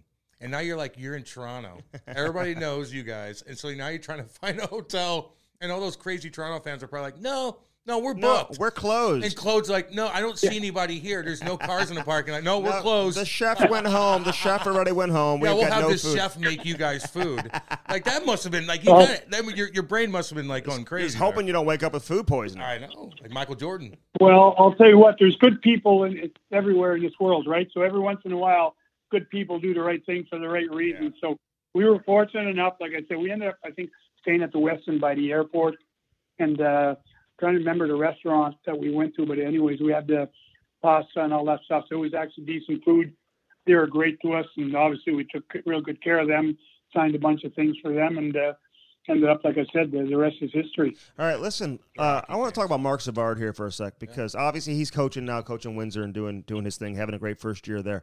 But when he gets rocked, has the concussion issues. Oh, yeah you know, tries to come back. Obviously, it just it, it, just wasn't happening. And to see a talented player like that have to go down the way that he did, I'm curious how that impacted, you know, the rest of your coaching career. Like how you how you looked at concussions and head injuries in general. Did that change how you viewed it? Well, absolutely. I mean, we know so much more now about concussions, you know, and then they keep get, keeps getting better every year. And uh, you know, no matter what, I, I don't care if it's game seven of the Stanley Cup finals and my best player gets hurt, uh, if he's got a concussion, you're not going to hear a peep from me because, you know, at the end of the day, there's life after hockey. And that's even more important. And you have families, that's even more important than the, the game itself. We call a game of hockey, we think it's the most important thing in the world, but it's actually just a job. When you look at it, we're doing that for a living. We're doing, we're entertaining, but we shouldn't be entertaining uh, risking uh, the future of our life because of that. So I'm one of those guys that I've always told doctors, if you tell me he can't come back, you're not going to hear a peep from me. Okay. If you tell me he's okay, but he's hesitant at playing, uh, and, he, and, I need to talk to him, then I will see if uh, you know he's comfortable enough to come back and play or not. But if you tell me he's not, uh, you're not going to hear anything from me. But when you look at Marc Savard, and I remember when he came back, and he got hit in Colorado in the corner and uh, stayed down. Then he came back to the room, and uh, I remember after the period, he was in the back room. I went to see him, and uh, he just looked at me and started crying. He knew it was over for him, you know. And I really, really felt bad for him because you know he's such a good player, and his, again, that was the, the Stanley Cup year again. He was trying to make a comeback and uh, wanted to be part of our group, and uh, you know, that hit just kind of pushed him out forever. Uh, so just looking at his face, the tears and the and the disappointment in him knowing that he was done uh, has always has always stayed with me. So those are the kind of things like uh, you just mentioned earlier that sticks with you. So now you start looking at concussions differently because you know the impact it has. Uh, in a way, he's kind of lucky right now. He's able to, you know, do what he loves, and that's hockey he's coaching. He seems to be doing a good job. I know they won last night, so their series is tied at three with Hamilton. So uh, for a guy in his first year there, uh, he's having good success. So uh, hopefully that continues for Marc. Uh, I know that when I first got to Boston, he was one of those guys that had about 96 points, I think, but was minus 27.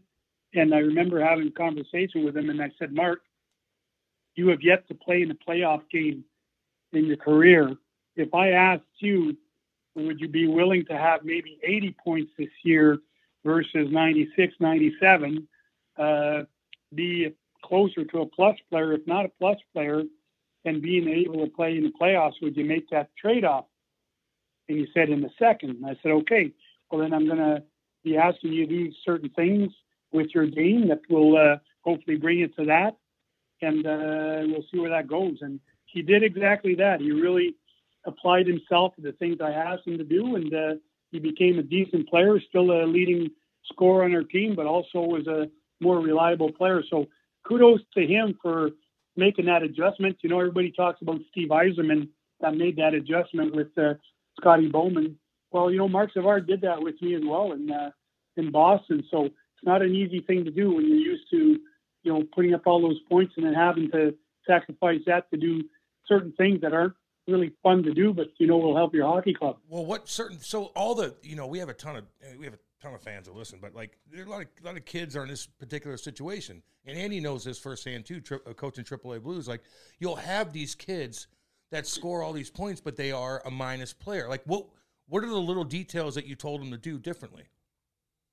Well, for me, it was it was about reading the play and not being like not being lazy on the back check. If they, if there was two guys deep, making sure he was a third man back, you know, on the back check, you know, not just skating for the sake of skating, but make sure you identify your man. And I said, excuse me, at the end of the day, I said those little details will go a long ways for the team.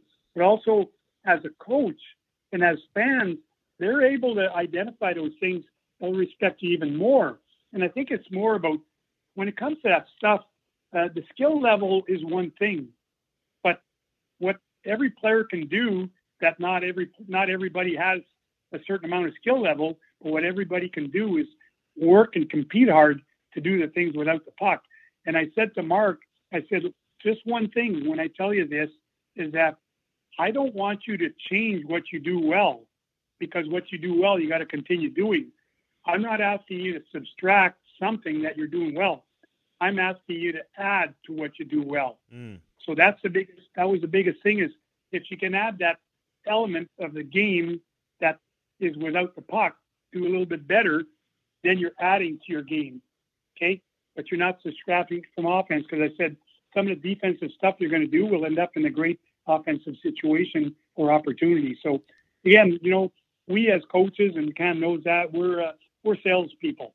We have to sell our goods. Yep. We have to sell what we're trying to accomplish, and you got to make sure the guys believe because if they don't believe, then they're not going to do it. So uh, that was the biggest thing with me with uh, Marc was to make him believe that he was more than just a goal scorer. Yeah, and that's like perfect psychology yeah, right there. Like you're, you're you're getting them to buy in yeah. because you're telling them, hey, you're going to add to your game. We're not we're not asking you to subtract from your game. No. We're acting. And the fans ask, will love you. Yeah. yeah. Hey, what, what was your relationship like with Bruce Cassidy? Like he, he was your assistant, right? And then he takes over, and and you know you hear some rumblings he, he didn't have the best relationship maybe with some of his players. And and is that the way it is right now in the NHL? Like, I mean, do the inmates kind of run the asylum? And when you have a bunch of like personalities, yeah. especially guys who are proven, who are comfortable, yep. they've been around, they've had a lot of success, is, is that more difficult to coach than a younger group that you're, that you're trying to push and, and get them to a certain level? I mean, and uh, start with Bruce though. Like, what was your relationship like, and and you know, just talk about him a little bit. Well, my relationship with Bruce was really, really good because Bruce was in Providence for so many years, and I was in Boston. And uh, every year, like you know, when we start preparing for camp, I'd always have the, the coaches from Providence with us, so they would know exactly what we were trying to do and how we were trying to play, and uh, you know, and, and then I would always ask their input as well. You know, and the thing is, you want to have as close to what you're doing up top in the minors, so that when they come up, they uh, they're not you know having to change their style or what they've been used to doing. So those conversations were important. And, uh, you know, the one thing I never want to do is force a coach down there to to do things that he doesn't believe in, and uh, so there was always a little bit of room for flexibility. But uh, always got along really well with Bruce.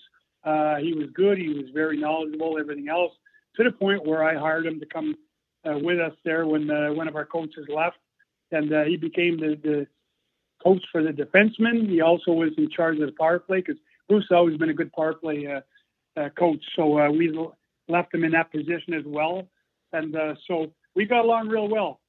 Bruce has his style of coaching, and you know, as people know and all that stuff, he he's direct. He says it the way it is, but always been respectful to the players.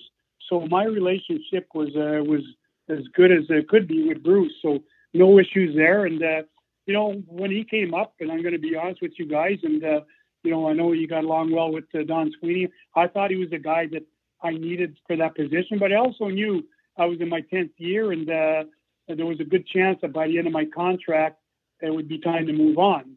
Uh, like anything else, you know, uh, uh, you can still get along with players, but sometimes, as GM say, a new voice sometimes makes a difference. So I was uh, was not uh, ignorant of uh, of that fact. So, anyways, when Bruce took over, I was happy for him. I moved on.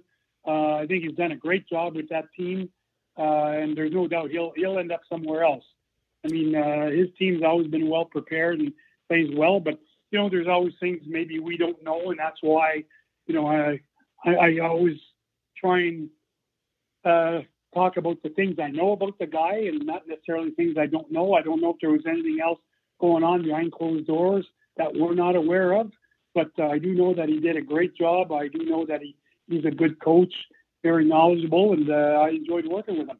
Claude, remember when uh, Dale Hunter accused you of, of headhunting Nicklas Backstrom? what was that all about? Dale. and, and, and, needless to say, I played a little bit with uh, with Dale when I was with the Nordiques, right? I was in the minors, get called up and played against Dale when he was in uh, Sudbury junior hockey, and I was in Windsor. So uh, there's a long history with Dale and I. So it was kind of, I thought that was a little funny coming from a guy who uh, was it Turgeon that. Uh, yeah. Oh, yeah. Oh, oh, Pierre. Oh, yeah. I mean, I mean it's, uh, yeah, the kettle called the kettle black, right? So the uh, that that's Dale, but Dale is such a funny guy. He probably knew exactly what he was saying and knew it would come back that way. Of course. He does not care the least bit.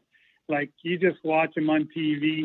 Does he ever have his tie uh, not all the way up? He's got the loose collar. He's just and he loves he loves the more you bug him, the more he loves it. So mm. that's right down at Dale's alley. Hey, you think Bergeron will play again? Like uh, he he must be the best player you've ever coached, by the way. Just quickly about Bergeron. I mean, I don't know what else you can say. He just won his fifth Selke, but coach's dream or what? But it's it's definitely a coach's dream, you know, because like there there's no there's no negative thing you can say about a guy. He's such a good person off the ice. He's kind. He's humble. He's all the stuff that anybody would look to into in a person on the ice. He's as reliable as can be, two way player, can score, can defend, can do everything. Great in the dressing room. Uh, like I don't know that there's even a person that does not like Patrice Bergeron that's ever got to know him. So, you know, there's so much good to say about a guy like that. He definitely is a, a coach's dream. Probably, you know, a guy that the, uh, any coach would consider the best player that, that he ever coached for all those reasons. Yeah. Hey, listen, a few more things for you, then we'll let yeah. you go, man. You've been great. Uh, I'm curious. You go you go to Montreal, and they bring in this Kotkaniemi kid, Jesperi Kotkaniemi. Uh, Kotkaniemi. Figure it out, Andy. and like, and he got all these expectations. You know, he's like third overall pick, and you know they draft him ahead of like Brady Tkachuk and some of these other guys they could have had. But do you know right off the bat? Are you are you saying, well, this is going to be a challenge? Like the fans think he's this, but you know he's this, and he's not what they think he is, and he may never be what they think he's going to be because of his draft position and what was your take on that? And how difficult is that when you have the fans thinking that a player may be something that he's not? Well, you know, when it comes to that, I think there's there's blame to be put uh, probably a, little bit everywhere. And what I mean by that is that you know, first of all, he gets drafted third overall. I know he was injured for probably half the season or something like that. And, uh, you know, we, we really needed a centerman. Uh, we needed size up the middle. He seemed to fit the profile because, again, uh, I'm just a coach. I haven't seen him play. I'm going by what I'm being told. And, you know, he comes to camp and he has an unbelievable camp. He really did. He's, uh, you know, probably the best I've seen him play uh, ever since he's been in the league was his training camp. And it was almost like our first intuition was let him come to camp and then let's just send him back to Finland to play back home and uh, let him get some more experience. But he was so good and held his own so well that we had meetings about that. Say, Christ, we we can't let him go. Like this guy's too good right now that he really feels like he belongs. And he started the season the same way. He had training camp, really had a good start. I think that's where maybe when I say things went a little bit south, is that it eventually started catching up. But he's an 18 year old. He's been the fans are loving him. He's the most popular player at the time. Uh, I don't know if he had the maturity to handle that kind of attention, and uh, I think some of the approach to his game kind of flipped. And uh, and you guys know where I'm going with this, right? Yeah. So all of a sudden, you know, it kind of slipped, and all of a sudden, maybe thinking he was better than than what he really was, and that he still needed to work a lot on certain things. So uh, I know players tried to help him out. We tried to help him out. There was times where it was a challenge, you know, and uh, yet, you know, we got to the playoffs and uh, we put him in the playoffs and had some success there as well. You know, scored some big goals for us. So I, I don't know if he was really handling the success the way he should have, and that might have thrown him off a little bit. So uh, as you could tell, there was times where he was a healthy scratch. I know with the with Ducharme and the playoffs and all that stuff, and it created a lot of, as you know, in Montreal where everything is bigger than it should be, but uh, created a lot of discussions and all that stuff. And then, as you know, the Carolina uh, offer came through, and uh, uh, you know, I don't know if you know as a as an agent, as a player, they thought it was the right thing to do, and they chose to jump ship. So uh, it's a real strange situation. Would he have been better to be a, have been sent back to, to Finland? Uh, when you see what happened after the start, uh, absolutely. Uh, when you look at the start, it's almost like not sure we had a choice to send him right away. Uh, not sure we had enough depth to get rid of him during the season when the, those decisions were being made. But in the long run, I think he could have benefited from uh, from being away from the NHL for another year. But uh, again, that's just an opinion from what I saw. Yeah. And uh, yet, you know, when you look at him in Carolina, uh, I don't think there was a lot different than what he did in Montreal. Uh, when I looked at his ice time, he was averaging, you know, 12, maybe sometimes 14 minutes. But you know, he was a third line uh, utility guy. I think when you look at the ice time he had. So you know, he's still young. He still has, I think, with the right approach, he still has a lot of potential and could become a better player. I really think at this stage right now, it's going to be up to him. Yeah, well, he got that big contract He in did. Carolina too, Yes, so we'll see did. how that plays out. Hey, what was Bergevin? Yeah. What, what was he like? You know, working for? Was he Oh. around a lot? Like, did you did you get along with him? I got along really well with with Marc, and uh, you know what you see is what you get from Burge. He's a really passionate, uh, really emotional guy, but he's also uh, like he's, he's a fun guy to be around. He can be funny, he can be uh, and all that stuff. And he did he did let me work, and uh, he he uh, you know listened to what I had to say, respected my opinion, and uh, we had some good chats and all that stuff. Uh, I, I I think at the end, and this is again me talking. I think at the end he might have been burnt out. Yeah. Uh, as you know, there's a lot of pressure there in Montreal and trying to please everybody, and uh, not only everybody, the fans, and trying to make the team competitive, but also the ownership and all that stuff. You know, because he cared. The one thing you can never take away from Marc Bergevin is he cared about that team. He really wanted the team to do well. But I think being a guy from Montreal, I think the pressure that was added on his shoulders took its toll, and uh, and I, I get a feeling that uh, he was burning out there at the end. Yeah, I've heard other people say the same thing. How And I don't know not? how could you How not can you not exactly. do it, Just a lot of pressure. Uh, and, and what was it like for you to watch the team? like you get let go and and and they go on that run in the playoffs and you know you had to coach through covid and all that Yeah, which was goofy. just ridiculous but and then they go to the the cup final was that difficult for you to watch did you watch the games like what was that like for you Well, I did. You know, and the, the, to be honest with you, when when we were let go, and I'm talking about Kirk Muller Yeah. and myself, we were actually finished playing two games in Ottawa. So we were driving back to Montreal. Kirk and I were both talking, and uh, we talked about how we really liked the team, the players, and all that stuff. And that even though we'd been fired, you know, we were hoping those players would have some success. And I know the season, the rest of the regular season wasn't great, but they made the playoffs and uh, if anything, they played their best hockey at the right time. And uh, the, there's no doubt it starts with Carey Price and Nets, but let's not take away credit where credit is due. I think the team in front of them also played their best hockey of the year at that time. So, you know, was I happy for them? Absolutely. Uh, was I a little bit sad? Sure, I was because you know you wish you were there with them uh, versus watching them. But uh, for the players' sake, uh, was really really happy for them. All right are you, are you still hoping to coach like has anybody called you like there's all these job They openings will now right now after this podcast, just so you know, Claude. You better Oh, get ready. Hey, oh. have some family time while you yeah. can. Uh, all these job openings now. Like, are you are you are you hoping to jump back in? Like, what's your approach now moving forward? Well, I haven't written it off, guys, because you know I still love coaching. As you as I told you earlier, I did the Team Canada stuff and really enjoyed it. Uh, I think you know under the right circumstances, and I mean not just for me but for both, uh, I would definitely consider it. Uh, if not, then maybe I'll just move on and see what else I can do in the in the industry. But uh, Mhm. would definitely uh, be open to coaching again. But uh, you know, when you've been coaching this long, you want to get into a situation where you're working hand in hand with the people that you're that are above you and with- with the same goal and uh, looking to accomplish the same thing. So that's what's most important for me right now. Is not necessarily about winning the Stanley Cup. Could be about rebuilding. It could be about you know, you know, bringing some young guys along. It doesn't matter to me as long as we're you know we're on the same page. Yeah. Yeah.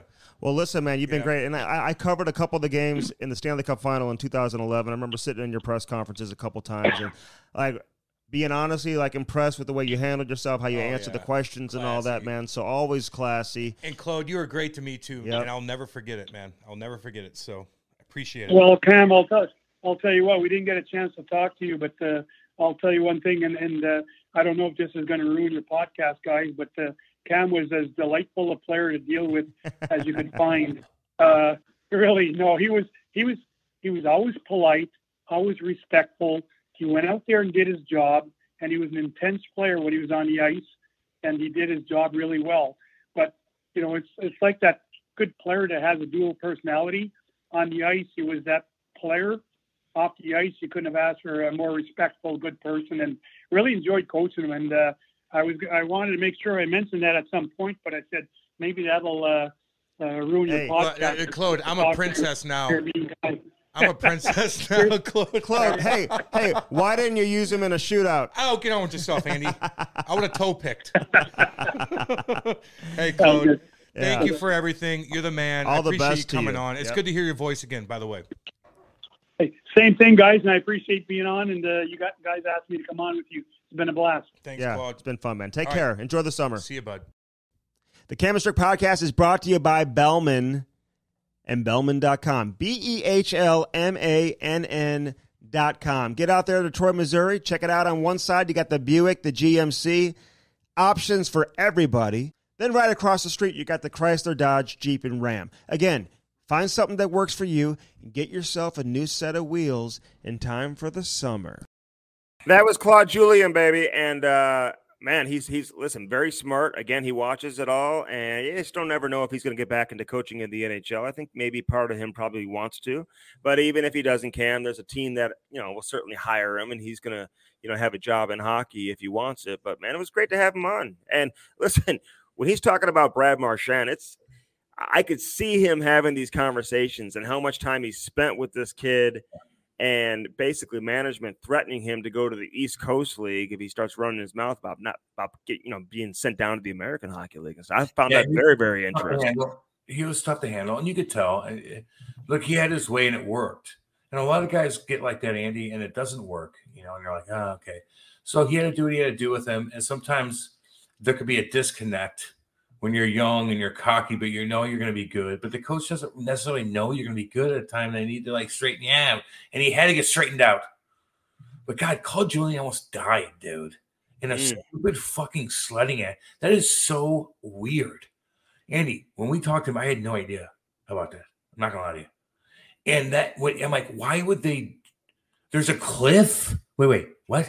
No, you went down and there's a cliff and a tree that says "hit me and and die," and he hit that thing. That's so bizarre.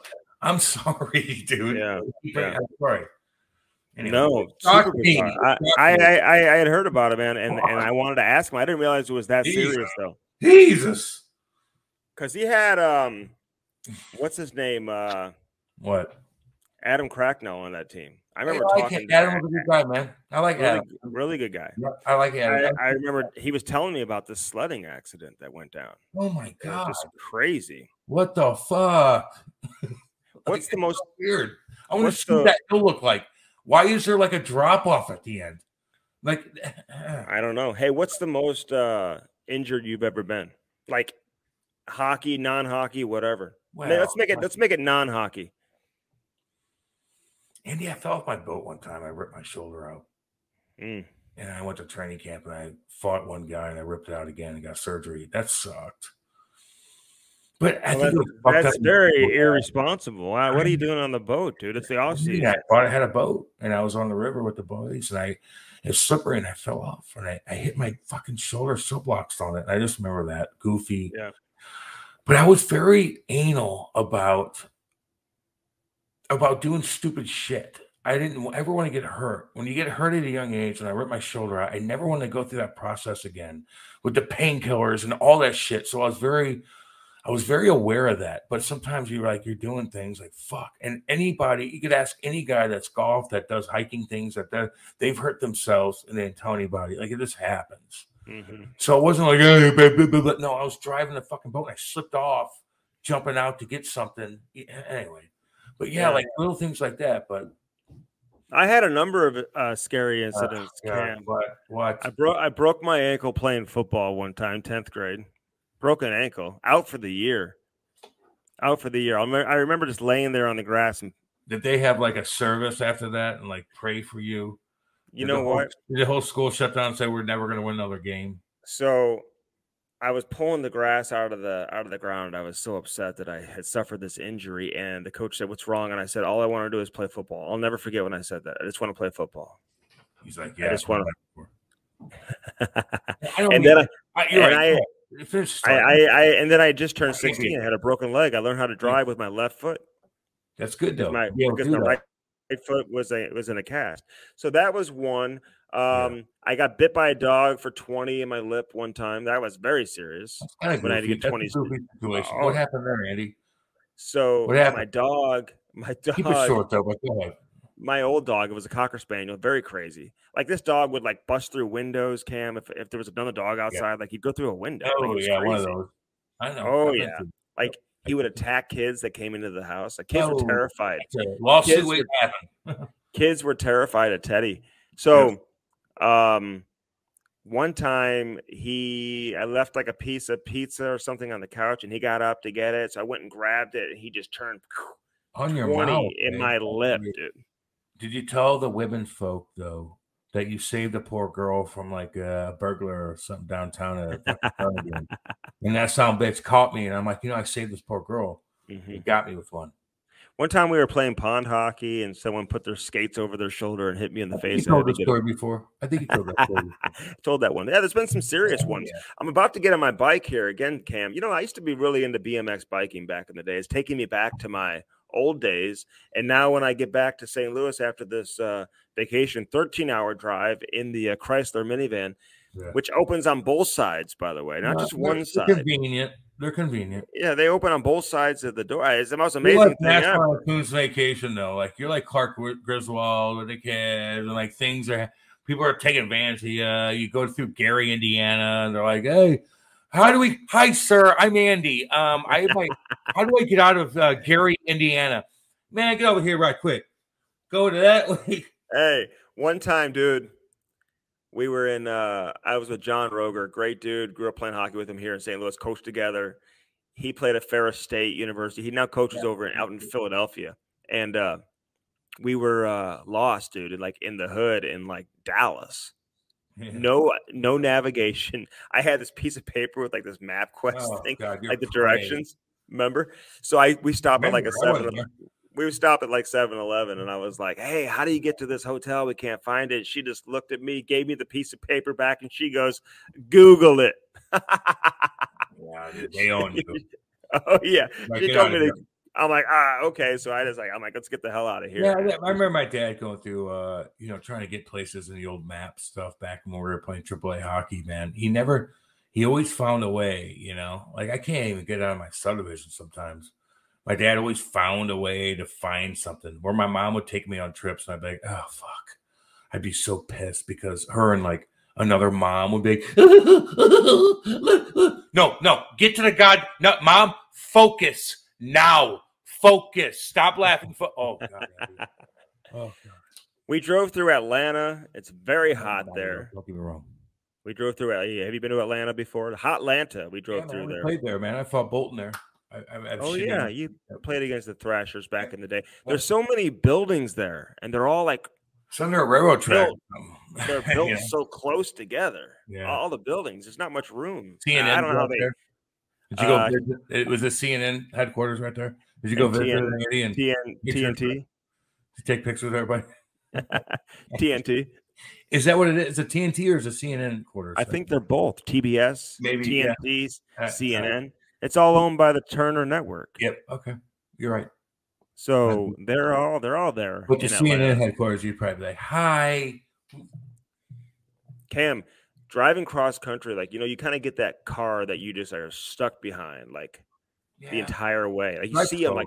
You're you don't see him for like a hundred miles. Then all of a sudden, here they this dude on his motorcycle. He had a guitar on his motorcycle, Oh no, hippie. and boy. he's just cruising. No, he's going like a two hundred miles an hour. Then all of a sudden, like he must get off or whatever, and then he catches up to us again. We saw 200 him miles an hour. different- I thought that. Dude, he was going fast, doing some crazy stuff. You ever seen those guys that would like stand up on their seat Yeah. Oh, so he had a a motorcycle? He had a badass. Oh yeah, Yeah. oh yeah. Well, that's what they do. You know, I stay away from guys like that when I'm driving. And you know what, Andy? Like, you got kids in the car, just put it in the slow lane and go fucking 70, 72, and just fucking cruise, dude. And maybe you got to get over when there's a for a, uh, a big old truck or something or whatever, but just like chill. You're not making that much time cruising. And when there's a motorcycle by you, get away from them. Let them go. Get away. Go. I don't want to fucking not see I'm in a them. huge hurry though, man. Like I- when I'm when I'm driving, cri- like on a Oh, road trip, I just want to get drive- there. I drive slow, dude. I chill. I listen to music. I don't have kids, and I get that. It's a different Mhm. animal. I understand, dude. I started to fuck you today, man. I didn't mean to do that. Yeah, that was bullshit. All right, I got to go because I'm in big trouble. Big fucking I'm in big. I'm in big trouble. Yeah, you're Mhm. well. You're getting fined again. Let me know what I should fine Cam. How much should I fine him? Fifty dollars, a hundred dollars. What? What do I fine Like, him? Would I ever even like? I'm the best business partner ever. I wouldn't even so like, like I'm finding you. I'd be like, okay. Like I, although I put down on shit, but I kind of fucked today up. And my my wife's like, yeah, I feel. Cam, bad. If I did this to you, you Right. would absolutely but- kill me. they paid money, Kill me. and I fucked up on the scheduling, and I'm sorry. They paid Well, I didn't money. even It's know you had this golf tournament till like this It's not my buddies though. It's not like my buddies like I would be like, get the fuck. They paid a lot of money, and I have to entertain. My bad. All right. Uh, they've got uh, lots of fire pits and stuff like that to do at nighttime around here at the resort. So I'm thinking about going outside Go tonight, do- Cam. Go make Just, s'mores uh, or something, homie. They- mind they- right.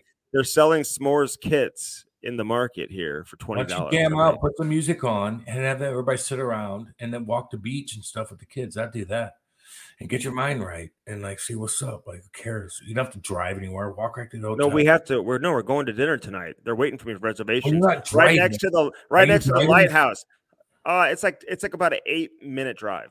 I can Oh, Uber whatever. if I want. you- Yeah, yeah, yeah. Uber, Uber, everything. It's an eight minute drive, but it's like three and a half miles Don't away. drive.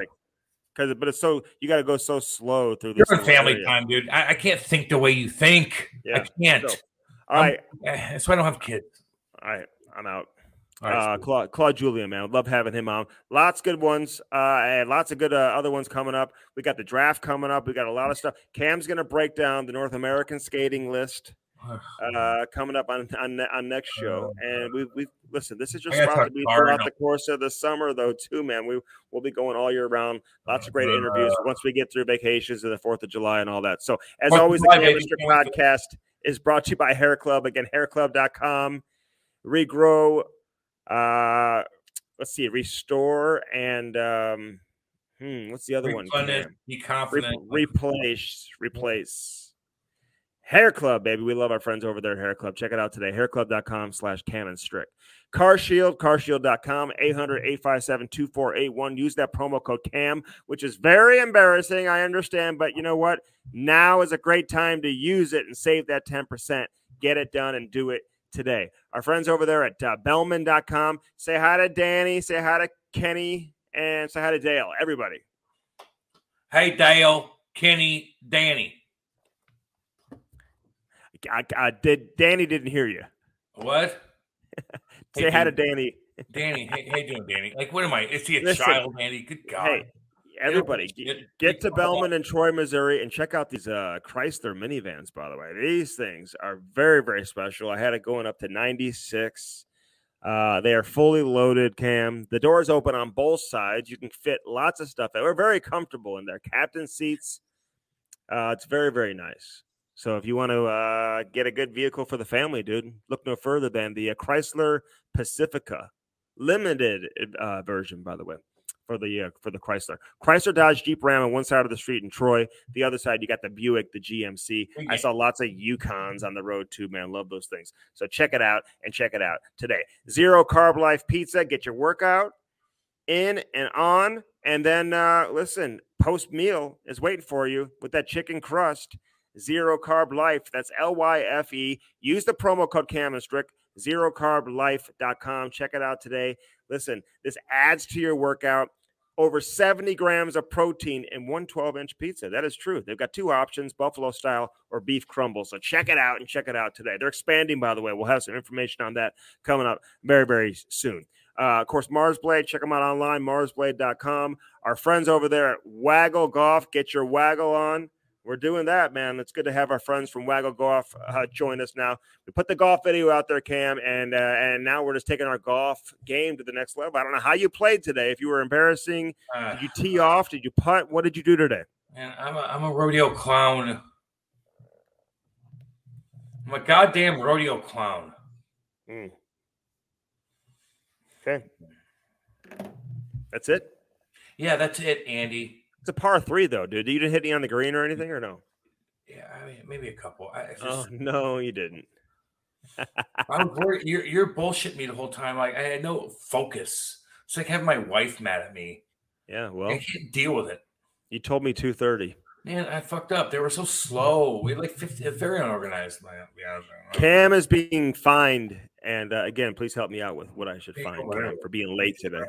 All right, we're getting closer to 200. Think about the guests you want to hear from for episode number 200, man. It's hard yeah. to believe. We, we had Gretzky on like almost 100 episodes ago. I know. 99, baby. Which it seems like yesterday.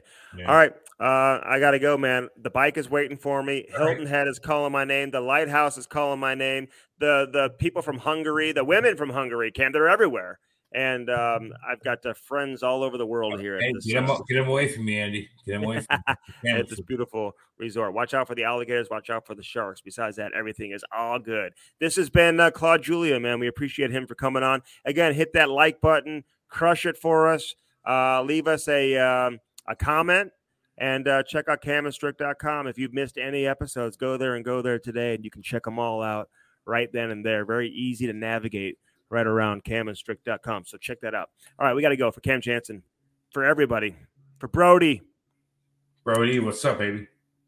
We'll do it again next, man. Thanks for your support as always. Peace.